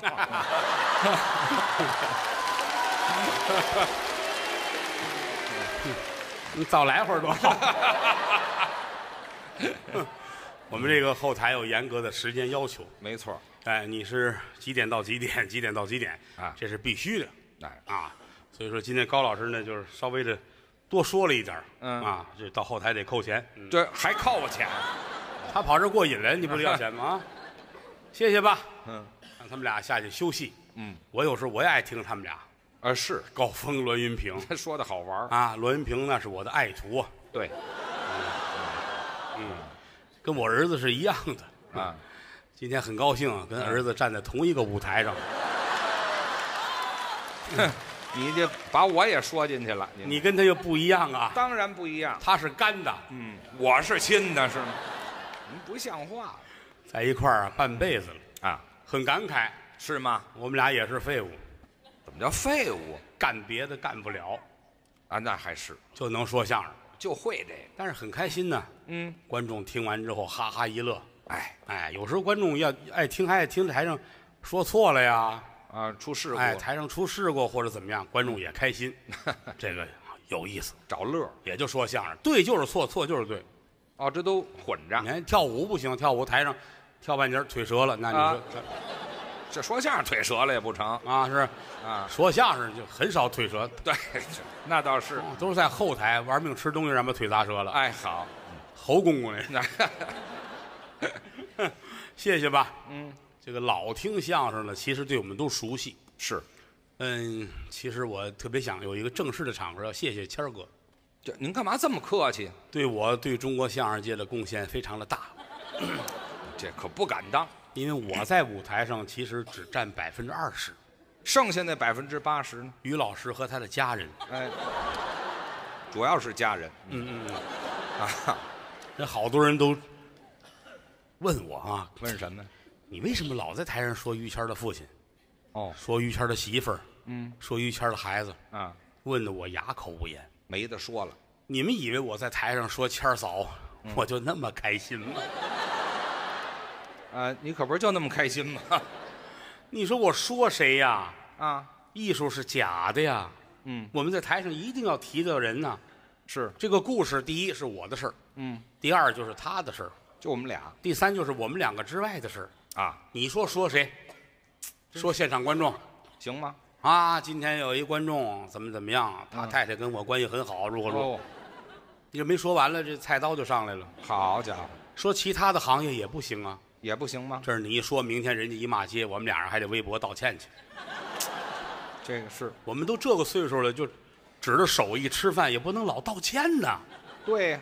啊，为什么台上老得说于谦儿的父亲呢？嗯，我愿意，哎嗨，啊，就落一愿意。不是愿意，这嗯是没有办法的事情，哦，这是假的。对，当然了，其实所有人都知道是假的，嗯，你包括向有关部门去报告的人也知道是假的。哦，天底下有一句话特别对啊，啊，冤枉你的人比你还知道你有多冤枉。你看，你怎么办？他就是坏，可不是吗？他想半天怎么才能害他呢？嗯，我得想一什么什么主意，拿这个去骗有关部门如何如何。他以为都不明白，所以没有办法。嗯你要真台下见着于谦的父亲们，您当时哎别门啊！您这一门就一骗了，啊啊这片啊啊，哪片啊？哪片都行。没听说过。啊，那就这篇这篇啊，这女孩还愿意搭这茬儿，你他们沾粒儿就走啊，还管你男孩儿女孩儿啊。我台下见着他父亲，我那个客气的都不行了，是真的啊，就就如同我亲爹是一样的。就是这关系，因为那个老头儿很疼人，很疼人的人好啊。啊。台上无大小，台下立规矩。对，那个老爷子，我反正我我觉得他爸爸是一个挑不出毛病的人，嚯，那么完美吗？不管是生活，嗯，能力、品性、作风，嗯，哎，作风不算，就是，哎，就这重要，就这不算了老头儿这一天就是非常健康的一天。啊！这怎么叫健康？早晨六点准时醒，哦，你看这一点就很难得，自律。不睡懒觉六点他爸爸早晨准醒，是吧？但是不睁眼。不睁眼叫醒啊？你看苏醒过来，但是马上睁眼坐起来，对心脑血管都不好。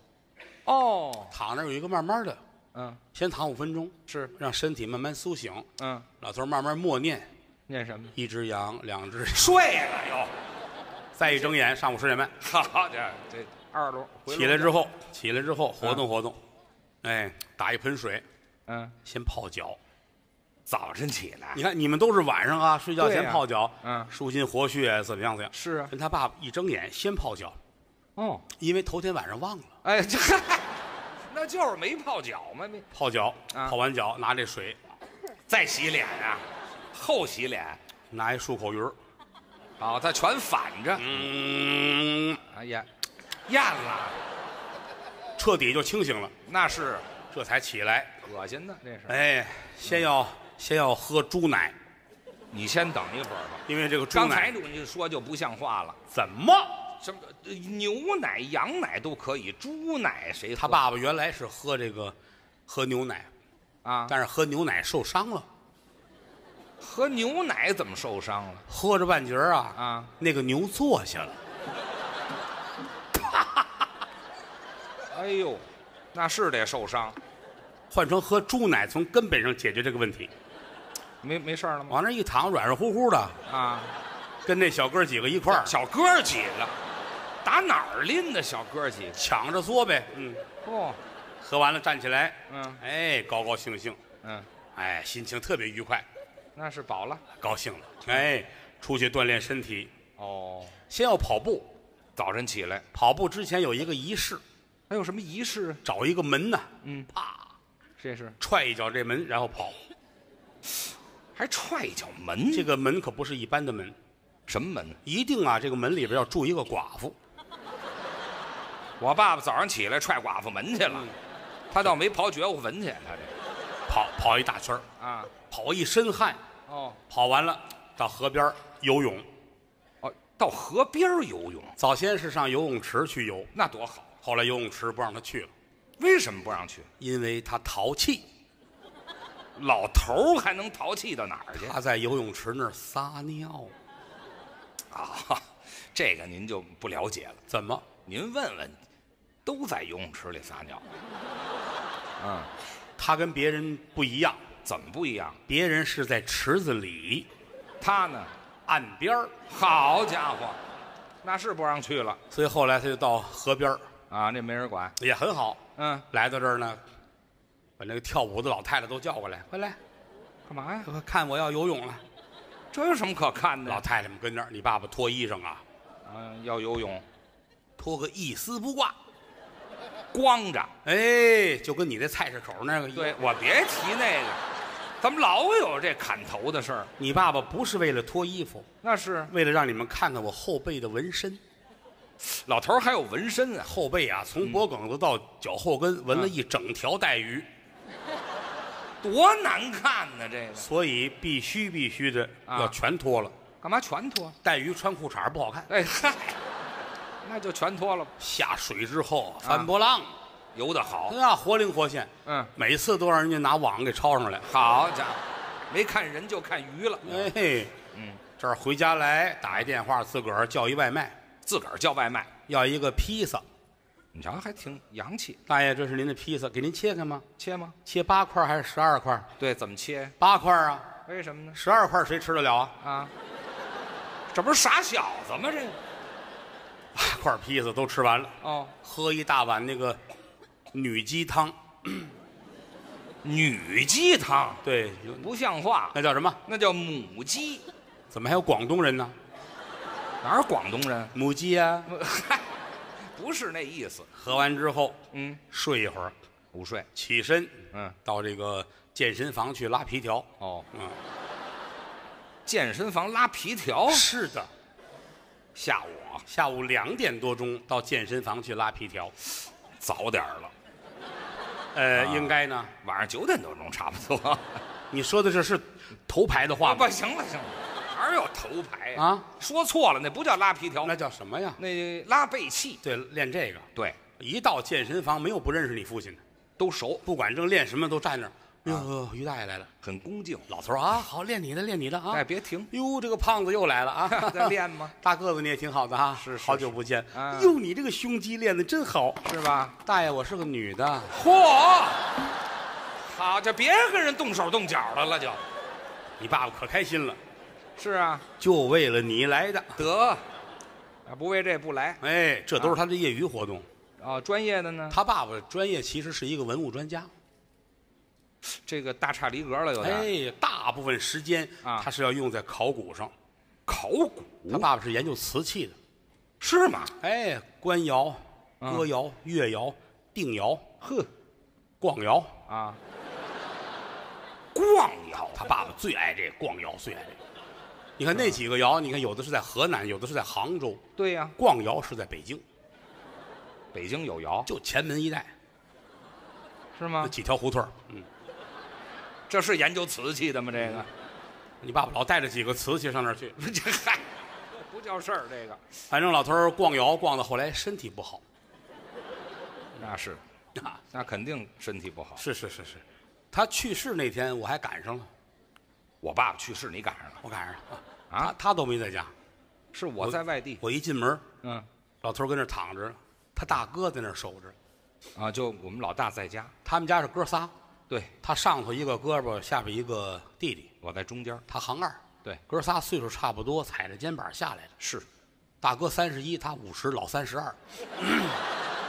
这连胯骨轴子都踩不上啊！这个，这是踩肩膀吗？这个？垫点脚吧，我比我大哥大，合着。没没，他比你大点，比你大点啊。反正这么哥仨，嗯。你是不在家，是，他跟那个八宝山曲艺团出去演出去，合着您这都连着的是吗？他拿着镰刀带着鸡蛋演出去了哎，我还送鸡蛋呢。啊，家里就大爷在了。嗯，我一进门我都傻了，是吗？你爸爸躺在那儿，那脸翠绿翠绿的，嗯，你大哥在那儿坐，那脸惨绿惨绿的。爷儿俩谁先死啊？这是？怎么全绿的呀？这爷儿俩要打古玩店门口过，能揽进去，好家伙，跟两块翡翠似的。没听说过。大哥，你怎么了？你问问他。老头儿要坏了，是啊，我守着好些日子了，嗯，二的三的都不在家，哎，我一个人我连动都不敢动，我连饭我都没吃，饿着。我两天没吃饭了。哎呀，大哥，你不能不吃饭啊！怎么？老话说得好，人是铁，你爸郭德纲因为确实等会儿，对身体不好，别说了，别说了，别说了。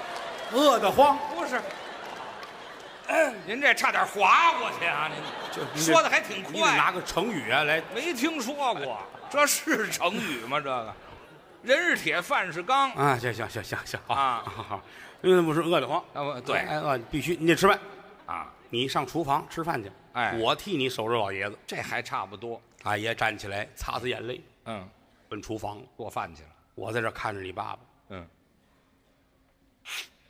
这也心里难受。你也有今天啊！什么呀？这叫什么话呀？原来踹寡妇门那会儿跑多快，别提这个了对吧？现在躺着，啊！这么着也有今天，没事儿老爷子，您一定很好的。你给他宽宽心老头儿，别劝我，啊！心里都明白，是啊，挺好。哦，没事儿，大爷。嗯，喝水吗？我给您喝水。嗯，不要。我扶您坐会儿。啊，哎呀，您要什么呀？嗯，我要小姐。这早就该死，这个知道？什么时候了？要小姐？他要方便一下。小姐，这时候说什么文言呢？你，你就说撒尿不就完了吗？大爷，我扶您扶您尿去，啊，不要动，怎么呢？尿完了。哎，这太快了，看着我真是，眼泪都快下来了。是吗？大爷，没事啊，你啊一定能挺过去。哦，小子，我有话跟你说。什么话？您说张大妈呀，李大妈呀，啊？赵婶儿啊，王阿姨呀、是。我都爱。哎嗨，就别想这个了。还有四十多个妇女啊，好，都在河边等着你呢，你赶紧去。什么四十多个？你怎么跟你爸爸说话？废话？提这干嘛？你要替我照顾他们。嗯嗯。我说好，大爷，你给我拿个本儿，我得记一下。哎，对，实在记不过来。这点娘们儿太多了。哎呀，，转身拿本儿，嗯你爸爸 我爸爸听相声去了。不像话，笑了。谁笑了？这这时候这能笑得出来吗？啊，好，可以，好，行。他回去座儿丢了。啊说到哪儿忘了不是？啊，他媳妇儿啊，徐娘们儿把老婆老 这这完不了了，这能说好几天，你知道吗？啊，老头儿完了，嗯，闭上眼了，怎么了？我都傻了，啊，就眨眼之间，生死这就没了，真没了。真没了吗？我要探探鼻息呀、哦，看一看，看，啊，死了，死了，死了。是，没死也让你给处死了。哎，我我哪懂？我就探一下。没这是叹鼻息吗？您这个，哎呀，好家伙，甩着血，走，啊赶紧奔厨房干嘛呀？给你大哥送信儿去。你得告诉他一声，到厨房看见你大哥那样，我眼泪都下来了。他干嘛呢？百日床前无孝子，啊，你大哥就叫大笑弥天。就好，这会儿你让他说炒菜，嗯，你让他他吃咸菜他都吃不下去，心火大呀。但是又不吃又不行，还得盯着呢。是啊，打电话叫一外卖，哦，嗯，赶紧送来呀！别让男的送啊，还让那小闺女儿送，知道吗？哦就是一笑起来眼睛弯弯的那个，你还是不饿。不是他送，大爷不吃。你死不死啊你？来了之后有一暗号啊，干嘛让他敲三下门，然后喊喊什么？喊那个恭喜你爸爸死了。这什么话？这是不说这个暗号，我不吃。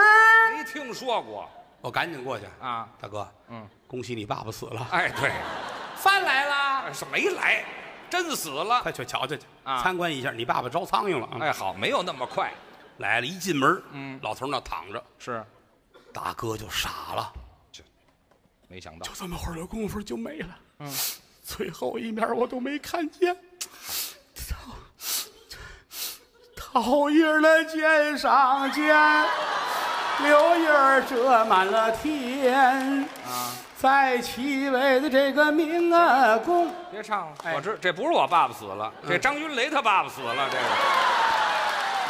像话吗？唱这个死人我劝劝他吧。啊！但这会儿你也不在家，我是不在家呀，因为你不是跟着八宝山曲艺团出去了吗？别提这个了老三也不在家，啊，他也是有事儿老三是科学家，啊。正在保定开发科研项目，哦，他有个项目，研究那种不加驴肉的火烧，那就是素火烧啊，那个彻底粉碎驴火的猖狂。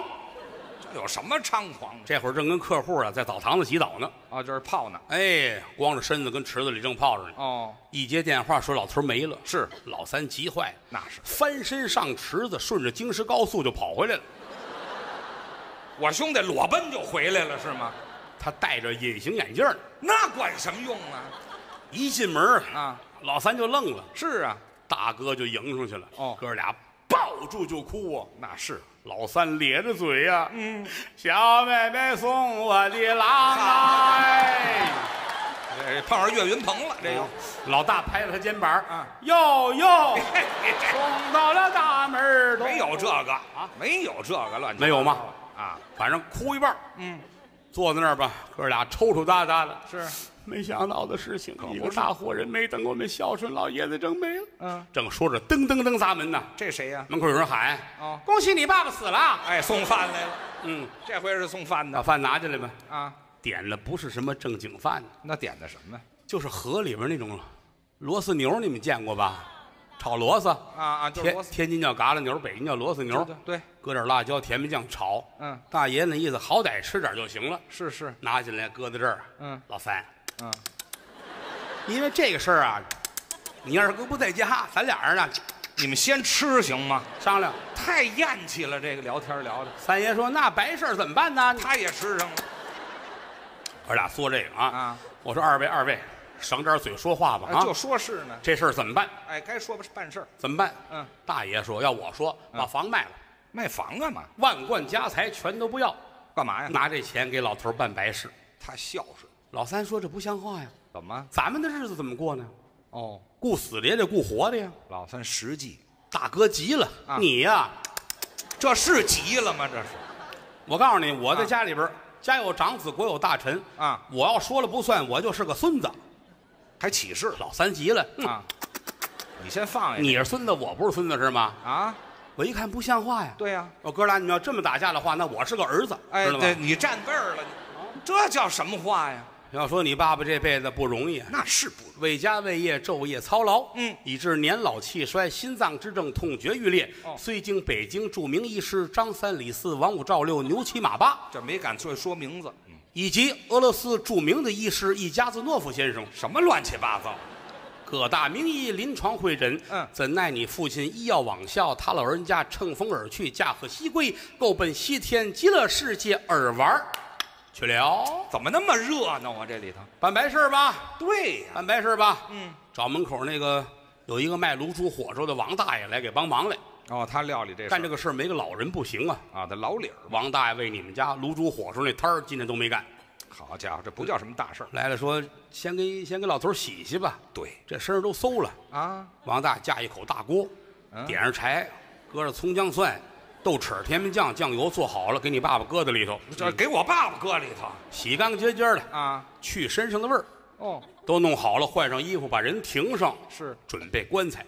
这是重要。可这北京城也没有棺材呀，那怎么办呢？现在都是火葬。嗯你们家有一口老存性，哦，家里有一九二八年，你的祖父就是你的爷爷啊在蓟县马伸桥做生意。哦，他老人家喜爱文物，是，黑更半夜扛着铁锹，夜到东陵啊，偷出来这么一个金丝楠的棺材，我爷爷指望自己百年之后就埋在这里边了。嗯，但是没想到用不上，怎么？盗窃文物当场击毙火化了。嗨，这个进废的呀！你棺材你爸爸弄回来，啊一直搁墙角站着当立柜使唤这什么家庭啊？这是啊。这回你爸爸死用上了，啊？来吧，把立柜放躺下。嗯，这一放躺下，立柜哭了，怎么？我他妈可歇会儿了。哎呀，这这才叫拟人化呢，知道吗？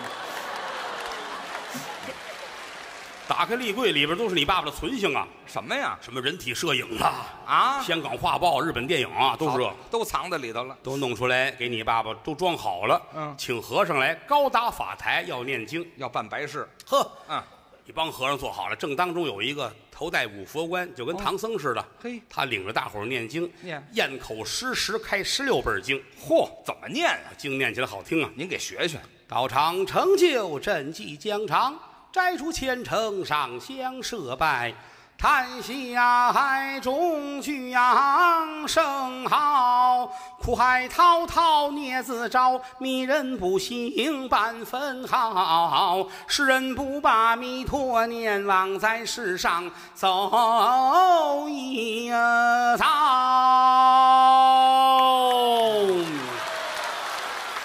秦关山有色，细听水无声。春去花还在，人来鸟不惊。接的接的啵儿，接的本儿，僧接的门，杜民军兮。什么呀？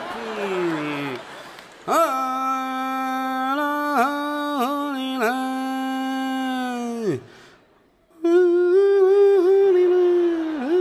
老头划着船来的，哎，巴扎嘿，这什么乱七八糟？怎么那么乱呢？这个我也不老会了，就会前面几句啊。啊，念七七四十九天，嚯！僧道坛尼轮班来。嗯，北京居士林的居士给你父亲转咒。这是居士林的来了啊启士林的来了，哎呦功德林的来了，嗯麦当劳的也来了，肯德基的也来了，来这么些厨子干嘛呀？趁这机会干一庙会。啊嗨，这都不挨着。一直等到出殡的这一天啊晴空万里，红日喷薄，好天儿，院子里边立三根白沙高，搭七级大棚过街牌楼，嗯，蓝白纸花扎在彩牌楼，上写三个大字“当大事”。好，孟子曰：“唯送死，以当大事。”嗯早晨九点钟出堂发引，哦先放三声铁炮，请来文官点主，武将进门。哎先由杠夫二十四名讲金官请出门外上小杠四十八人杠，后换大罩八十人杠，讲究杠夫满都是红缨帽、绿嫁衣，剃头洗澡穿靴子，一个个是满穿套裤。八十人杠换三班，二百四十人摆开一字长蛇五里阵，浩浩荡荡，威风凛凛。嗯早晨九点钟由你们家把棺材运出来，你们家住前门呐，啊是由前门奔永定门，上二环走三环，奔四环绕五环到六环，嗯转遍了北京城。晚上十一点半才把棺材抬回了家，哎，怎么又抬回来了？没有坟地。哎，去你的吧！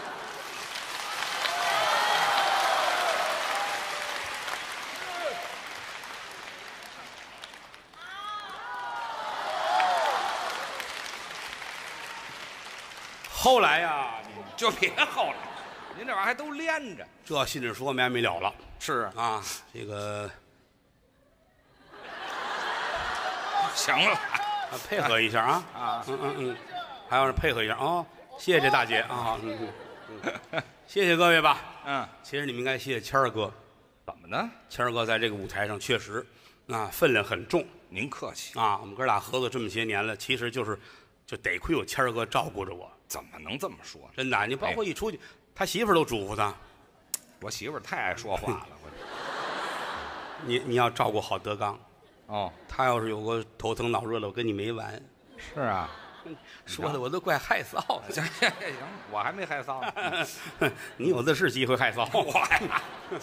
因为我们一出去演出去，谦儿哥很照顾我。我应该的，我因为谦儿哥我在后台我都不敢换衣裳。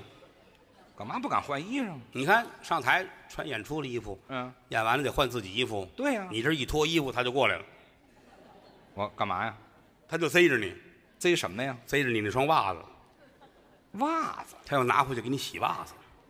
我啊，洗袜子。啊！啊，你你要跟他抢就急了，是啊，一把他就塞嘴里。我塞嘴里。你怎么弄？啊，你怎么弄？就就这么爱干活洗袜子，哎，尤其出去演出，嗯。连着几天啊。他上酒店上你房间找去袜子，要是有裤衩儿那最好，哎呀，干嘛洗？高兴啊呀！又好几天又攒了这么四五条裤衩儿嗯，高兴就跟过生日似的哎，这这么高兴？的啊，嗯拿走，嗯，有的时候拿走四条裤衩儿嗯，送回来三条，嗯我验了一条是吗？看错了，啊，您说记混了？看错了，以为是以为他自己的呢，哦他留下了那三条送回来，那没准儿乱。我也没准儿，嗨，这无所谓了，是，我那条他留下了，嗯，留下他洗干净，他还穿上了。这不都乱了呢吗？到家换衣裳一脱裤子，他媳妇儿乐了是吗？：“你怎么穿德纲裤衩儿 哎，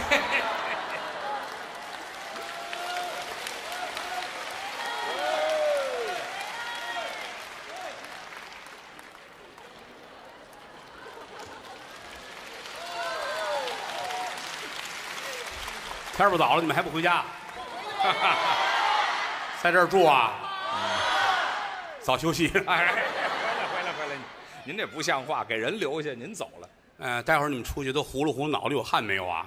是这热，这晚上晚上今儿挺凉的哈，对，注意保暖，嗯保暖思淫欲。啊，不是一个意思。嗯要谢谢谦儿哥，要谢谢高峰，啊，高老师是比较这几个人在我们后台很重要哦，啊，包括老高这替我教学什么的。啊，那总教习嘛，对呀，啊老高，啊，把他叫上。老高快来高老师在吗？来，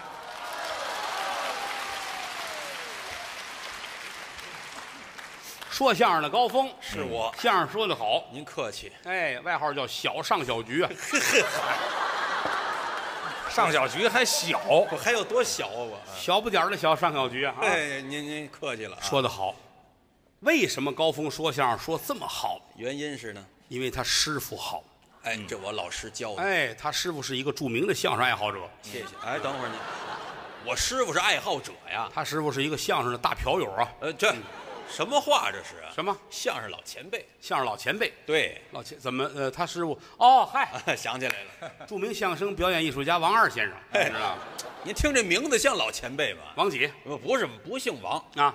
范振钰先生。哎，范振钰，对犯了罪镇压在监狱。嗯没有，您别胡批了。怎么了啊就是范振钰先生。范振钰先生，哎哎，这个收了一大堆徒弟，对，最露脸的就是高峰。哎，高老师也不能这么讲。哎呀，老头儿给观众带来笑声一辈子。是啊，后来呢，那个去世了。哎，哎，去世那年多大岁数？八十一岁，八十一岁高龄，多少观众都哭啊！那当然。越那么好的人死晚了，哎啊，嗯，您这晚字儿很可气。死在一个晚上嘛，呃，那倒是。死了一个晚上嘛。那会儿高峰他们都北京正演出呢，来电话，老头儿不好，赶紧回去，这儿演完了回北京，回应该天回天津。没错他师傅住天津，到医院的时候晚上十一点多，哎，对了，晚上嘛，一帮人徒弟，有高峰围着床看着老头儿嗯，老头儿很安详。是啊，你们都来了，我好，好，呃，你们能不能，嗯，别笑得那么开心哎，啊，我们这都什么徒弟呀？啊？我没事儿，哎我我有毅力，我希望我要活下去哎，，对对对，我一定要好好活。嗯啊，高峰就一直看着表啊，是啊看表啊，师傅您放心的去吧，啊，啊，放心去吧，一定一定会可以的。这干嘛？什么手势？把他师傅那管子给拔了，哎呦，好，这是我给害死的。老头儿，对，全一个作品。这你不知道不是吧？是啊，我刚才都听见了啊啊，那得那得啊啊，因为他们师兄弟们是倒班来，啊？怎么？每个人呢给老头儿结一天医药钱。哦，高峰到的时候就夜里十一点多了，啊，对，为什么看表呢？快十二点了，嗯呵，周你又省钱了哎，对，这第二天该表要快点儿还麻烦了啊。啊！那天到火葬场，到八宝山取团，到八宝山不没有曲艺团，不是在你们单位烧的啊行了，我们天津烧，行吗我记得你们单位有那芭比扣。好的，拿那玩意儿火化呀？哦，那好的啊，就是到到火葬场的时候哎，高峰提议，什么呀？师傅给观众带来笑声一辈子，我们不要在灵堂哭哭啼啼，那我们要用笑声和掌声送师傅最后一程，我死腻歪这手。你知道吗？呵，大伙儿徒弟们哈哈大笑，哎呀，有俩徒弟都乐得背过气去了。呵，徒弟们连徒弟媳妇们鼓掌高兴好家伙，啊，还有几个冲着老头儿，哎呃，这嗨，比心，他再坐起来。哎，还有俩这样的，啊，您来来喝。哎，行，说这灵堂多热闹！哼，鲜花、掌声、笑声一片呢。哎呀高兴！火葬场看门的大爷说了，是，我干了半辈子没见过死的这么开心的，哎，人看着新鲜是不是这帮人给害死的啊？就我一人害死。啊，你给扒的管子啊！哎，对，好吧，这个先生已经离开我们了，哎，但是呢，好在把老高留下来了。嗯嗯啊，听着这么别扭。那这不别就如同如同侯震留下的道理一样。侯震是我师傅没了，把他侄子侯震留下来了。啊，这就是先生们留给我们的非物质文化遗产嗨，我们都是那遗产，合着。啊，挺好。咱们好好说相声，哎，是不是？尤其是他跟谦儿哥他们俩人，我觉得更有时间在一起多研究作品。哎，我们住的近。他们俩住在北京的紧南头，是了，我住在北边，他俩住南边。嗯，南边有个天堂河小区，啊，您您您您别蒙，我们天堂河那是公墓，那是。八宝山遍地烧人吗？曲团就不烧人，对。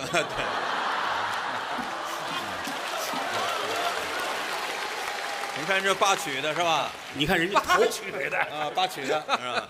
你看人家头牌说的话就是不一样，他长着俊呢，你知道吗？他俩在天堂河，天堂河公墓边上有这么一个小区，哎，反正离得有点距离。哎，一人一套烟景房，对，烟景房啊，这话多可气！什么叫那个房烟景房？四季如春呐，哎，对，还不交暖气费呢。四季如春，天天暖暖和和的。嗯，天天俩人哥俩没事儿楼上楼下一遛弯儿一散步，是是我都羡慕就在楼道里转悠。啊。尤其吃完了饭，晚上俩人小区里一散步哎，消消食啊，暖和。高峰、于谦儿俩人走高兴，多好。探讨艺术，探讨人生，哎，高兴啊！这些日子郭德纲上你们家去了吗？嗯，没有啊？是是，上你们家去了吗？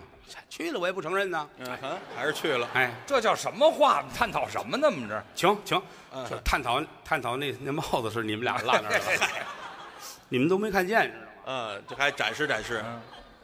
呃，三顶都拿起来啊！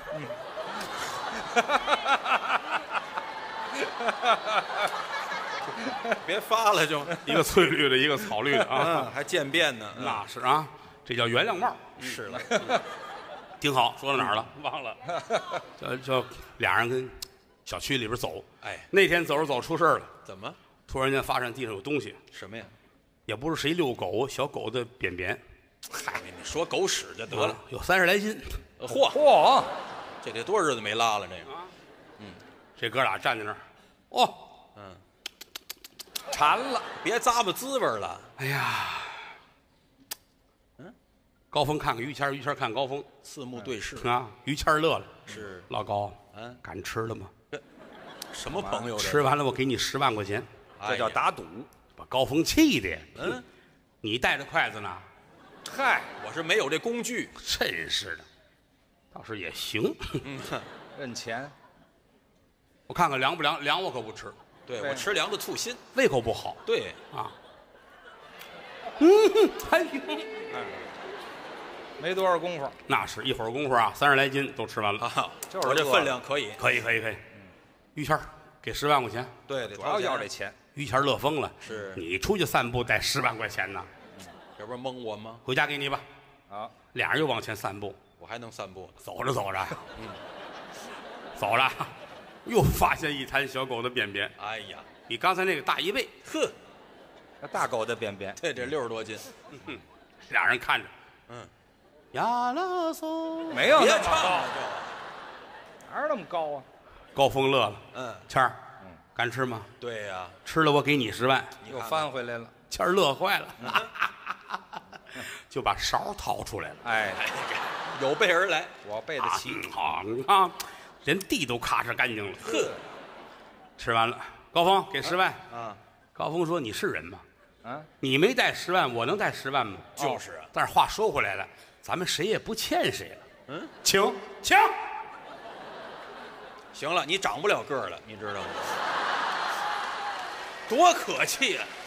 合着我们俩出来，一人闹一肚子屎就完了，是吧？我们就为这两包狗屎来的，是吧？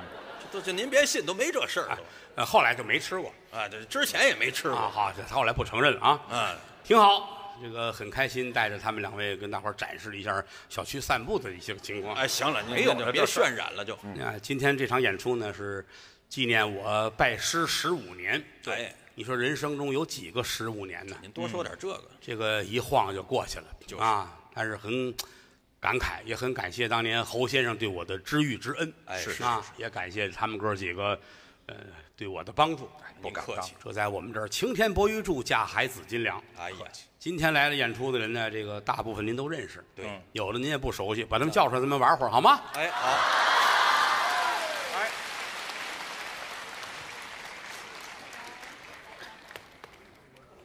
这个因为石先生岁数大了，我就给他先送回去了是是啊，送回去了，然后就剩这些位了啊。从那边介绍，高峰高老板，我的爱徒啊，栾云平。哎，我们这儿来老先生啊，杨进明杨先生，哎，你别看他岁数大，他是我师弟啊。来来来来来，这是我哎我师傅留给我的非物质文化遗产啊。相声大师侯宝林先生的长子长孙少侯爷侯震，那是我徒弟啊周九良，那也是我徒弟孟鹤堂。那主持人哪儿去了啊？大脑袋呢？哎，这也是我徒弟，跟郭麒麟说相声的啊，我徒弟，嗯，壮壮你们叫他啊，阎鹤祥，嗯嗯，孟鹤堂，来过来。你谦儿大爷有一帽子给你留下来了，倒是讨个吉利啊。嗯嗯，行了，撂下吧啊，撂下吧啊。这个给大伙儿唱两句吧，好吗？哦，唱我也没没准备，师傅，您这啊愣杵，那可不就愣了这。来个一起吧，是吧？我我我是。一起一起就算了，因为这今天是我师傅的主场，大家唱一个评戏吧，好不好？可以啊，刘刘伶醉酒，好，来了刘伶，好酒的呀难安。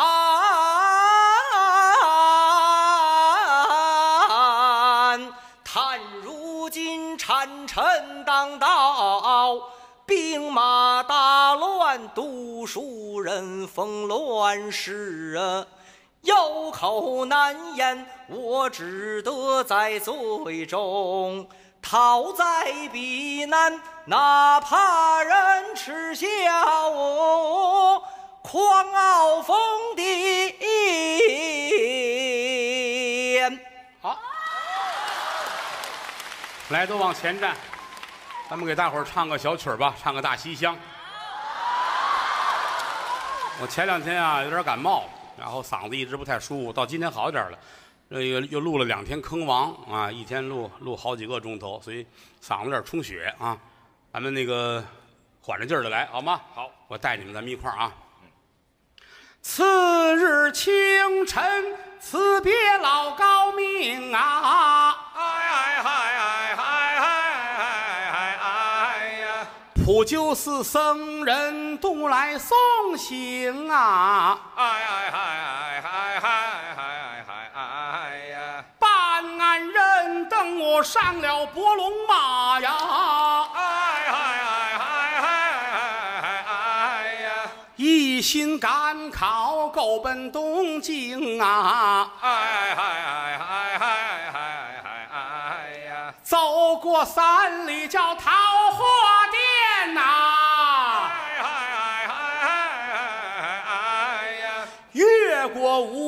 你杏花营啊！哎哎哎哎哎哎哎哎呀！桃花殿前出美酒啊！哎哎哎哎哎哎哎呀！杏花坡前女儿花容啊！哎哎哎哎哎哎哎呀！花美酒美，留也留不住啊！哎哎一心赶考，够奔东京啊！哎哎哎哎哎哎呀！好难唱的，这叫《西厢记》呀！哎哎哎哎呀！愿诸位阖家欢乐，福寿康宁啊！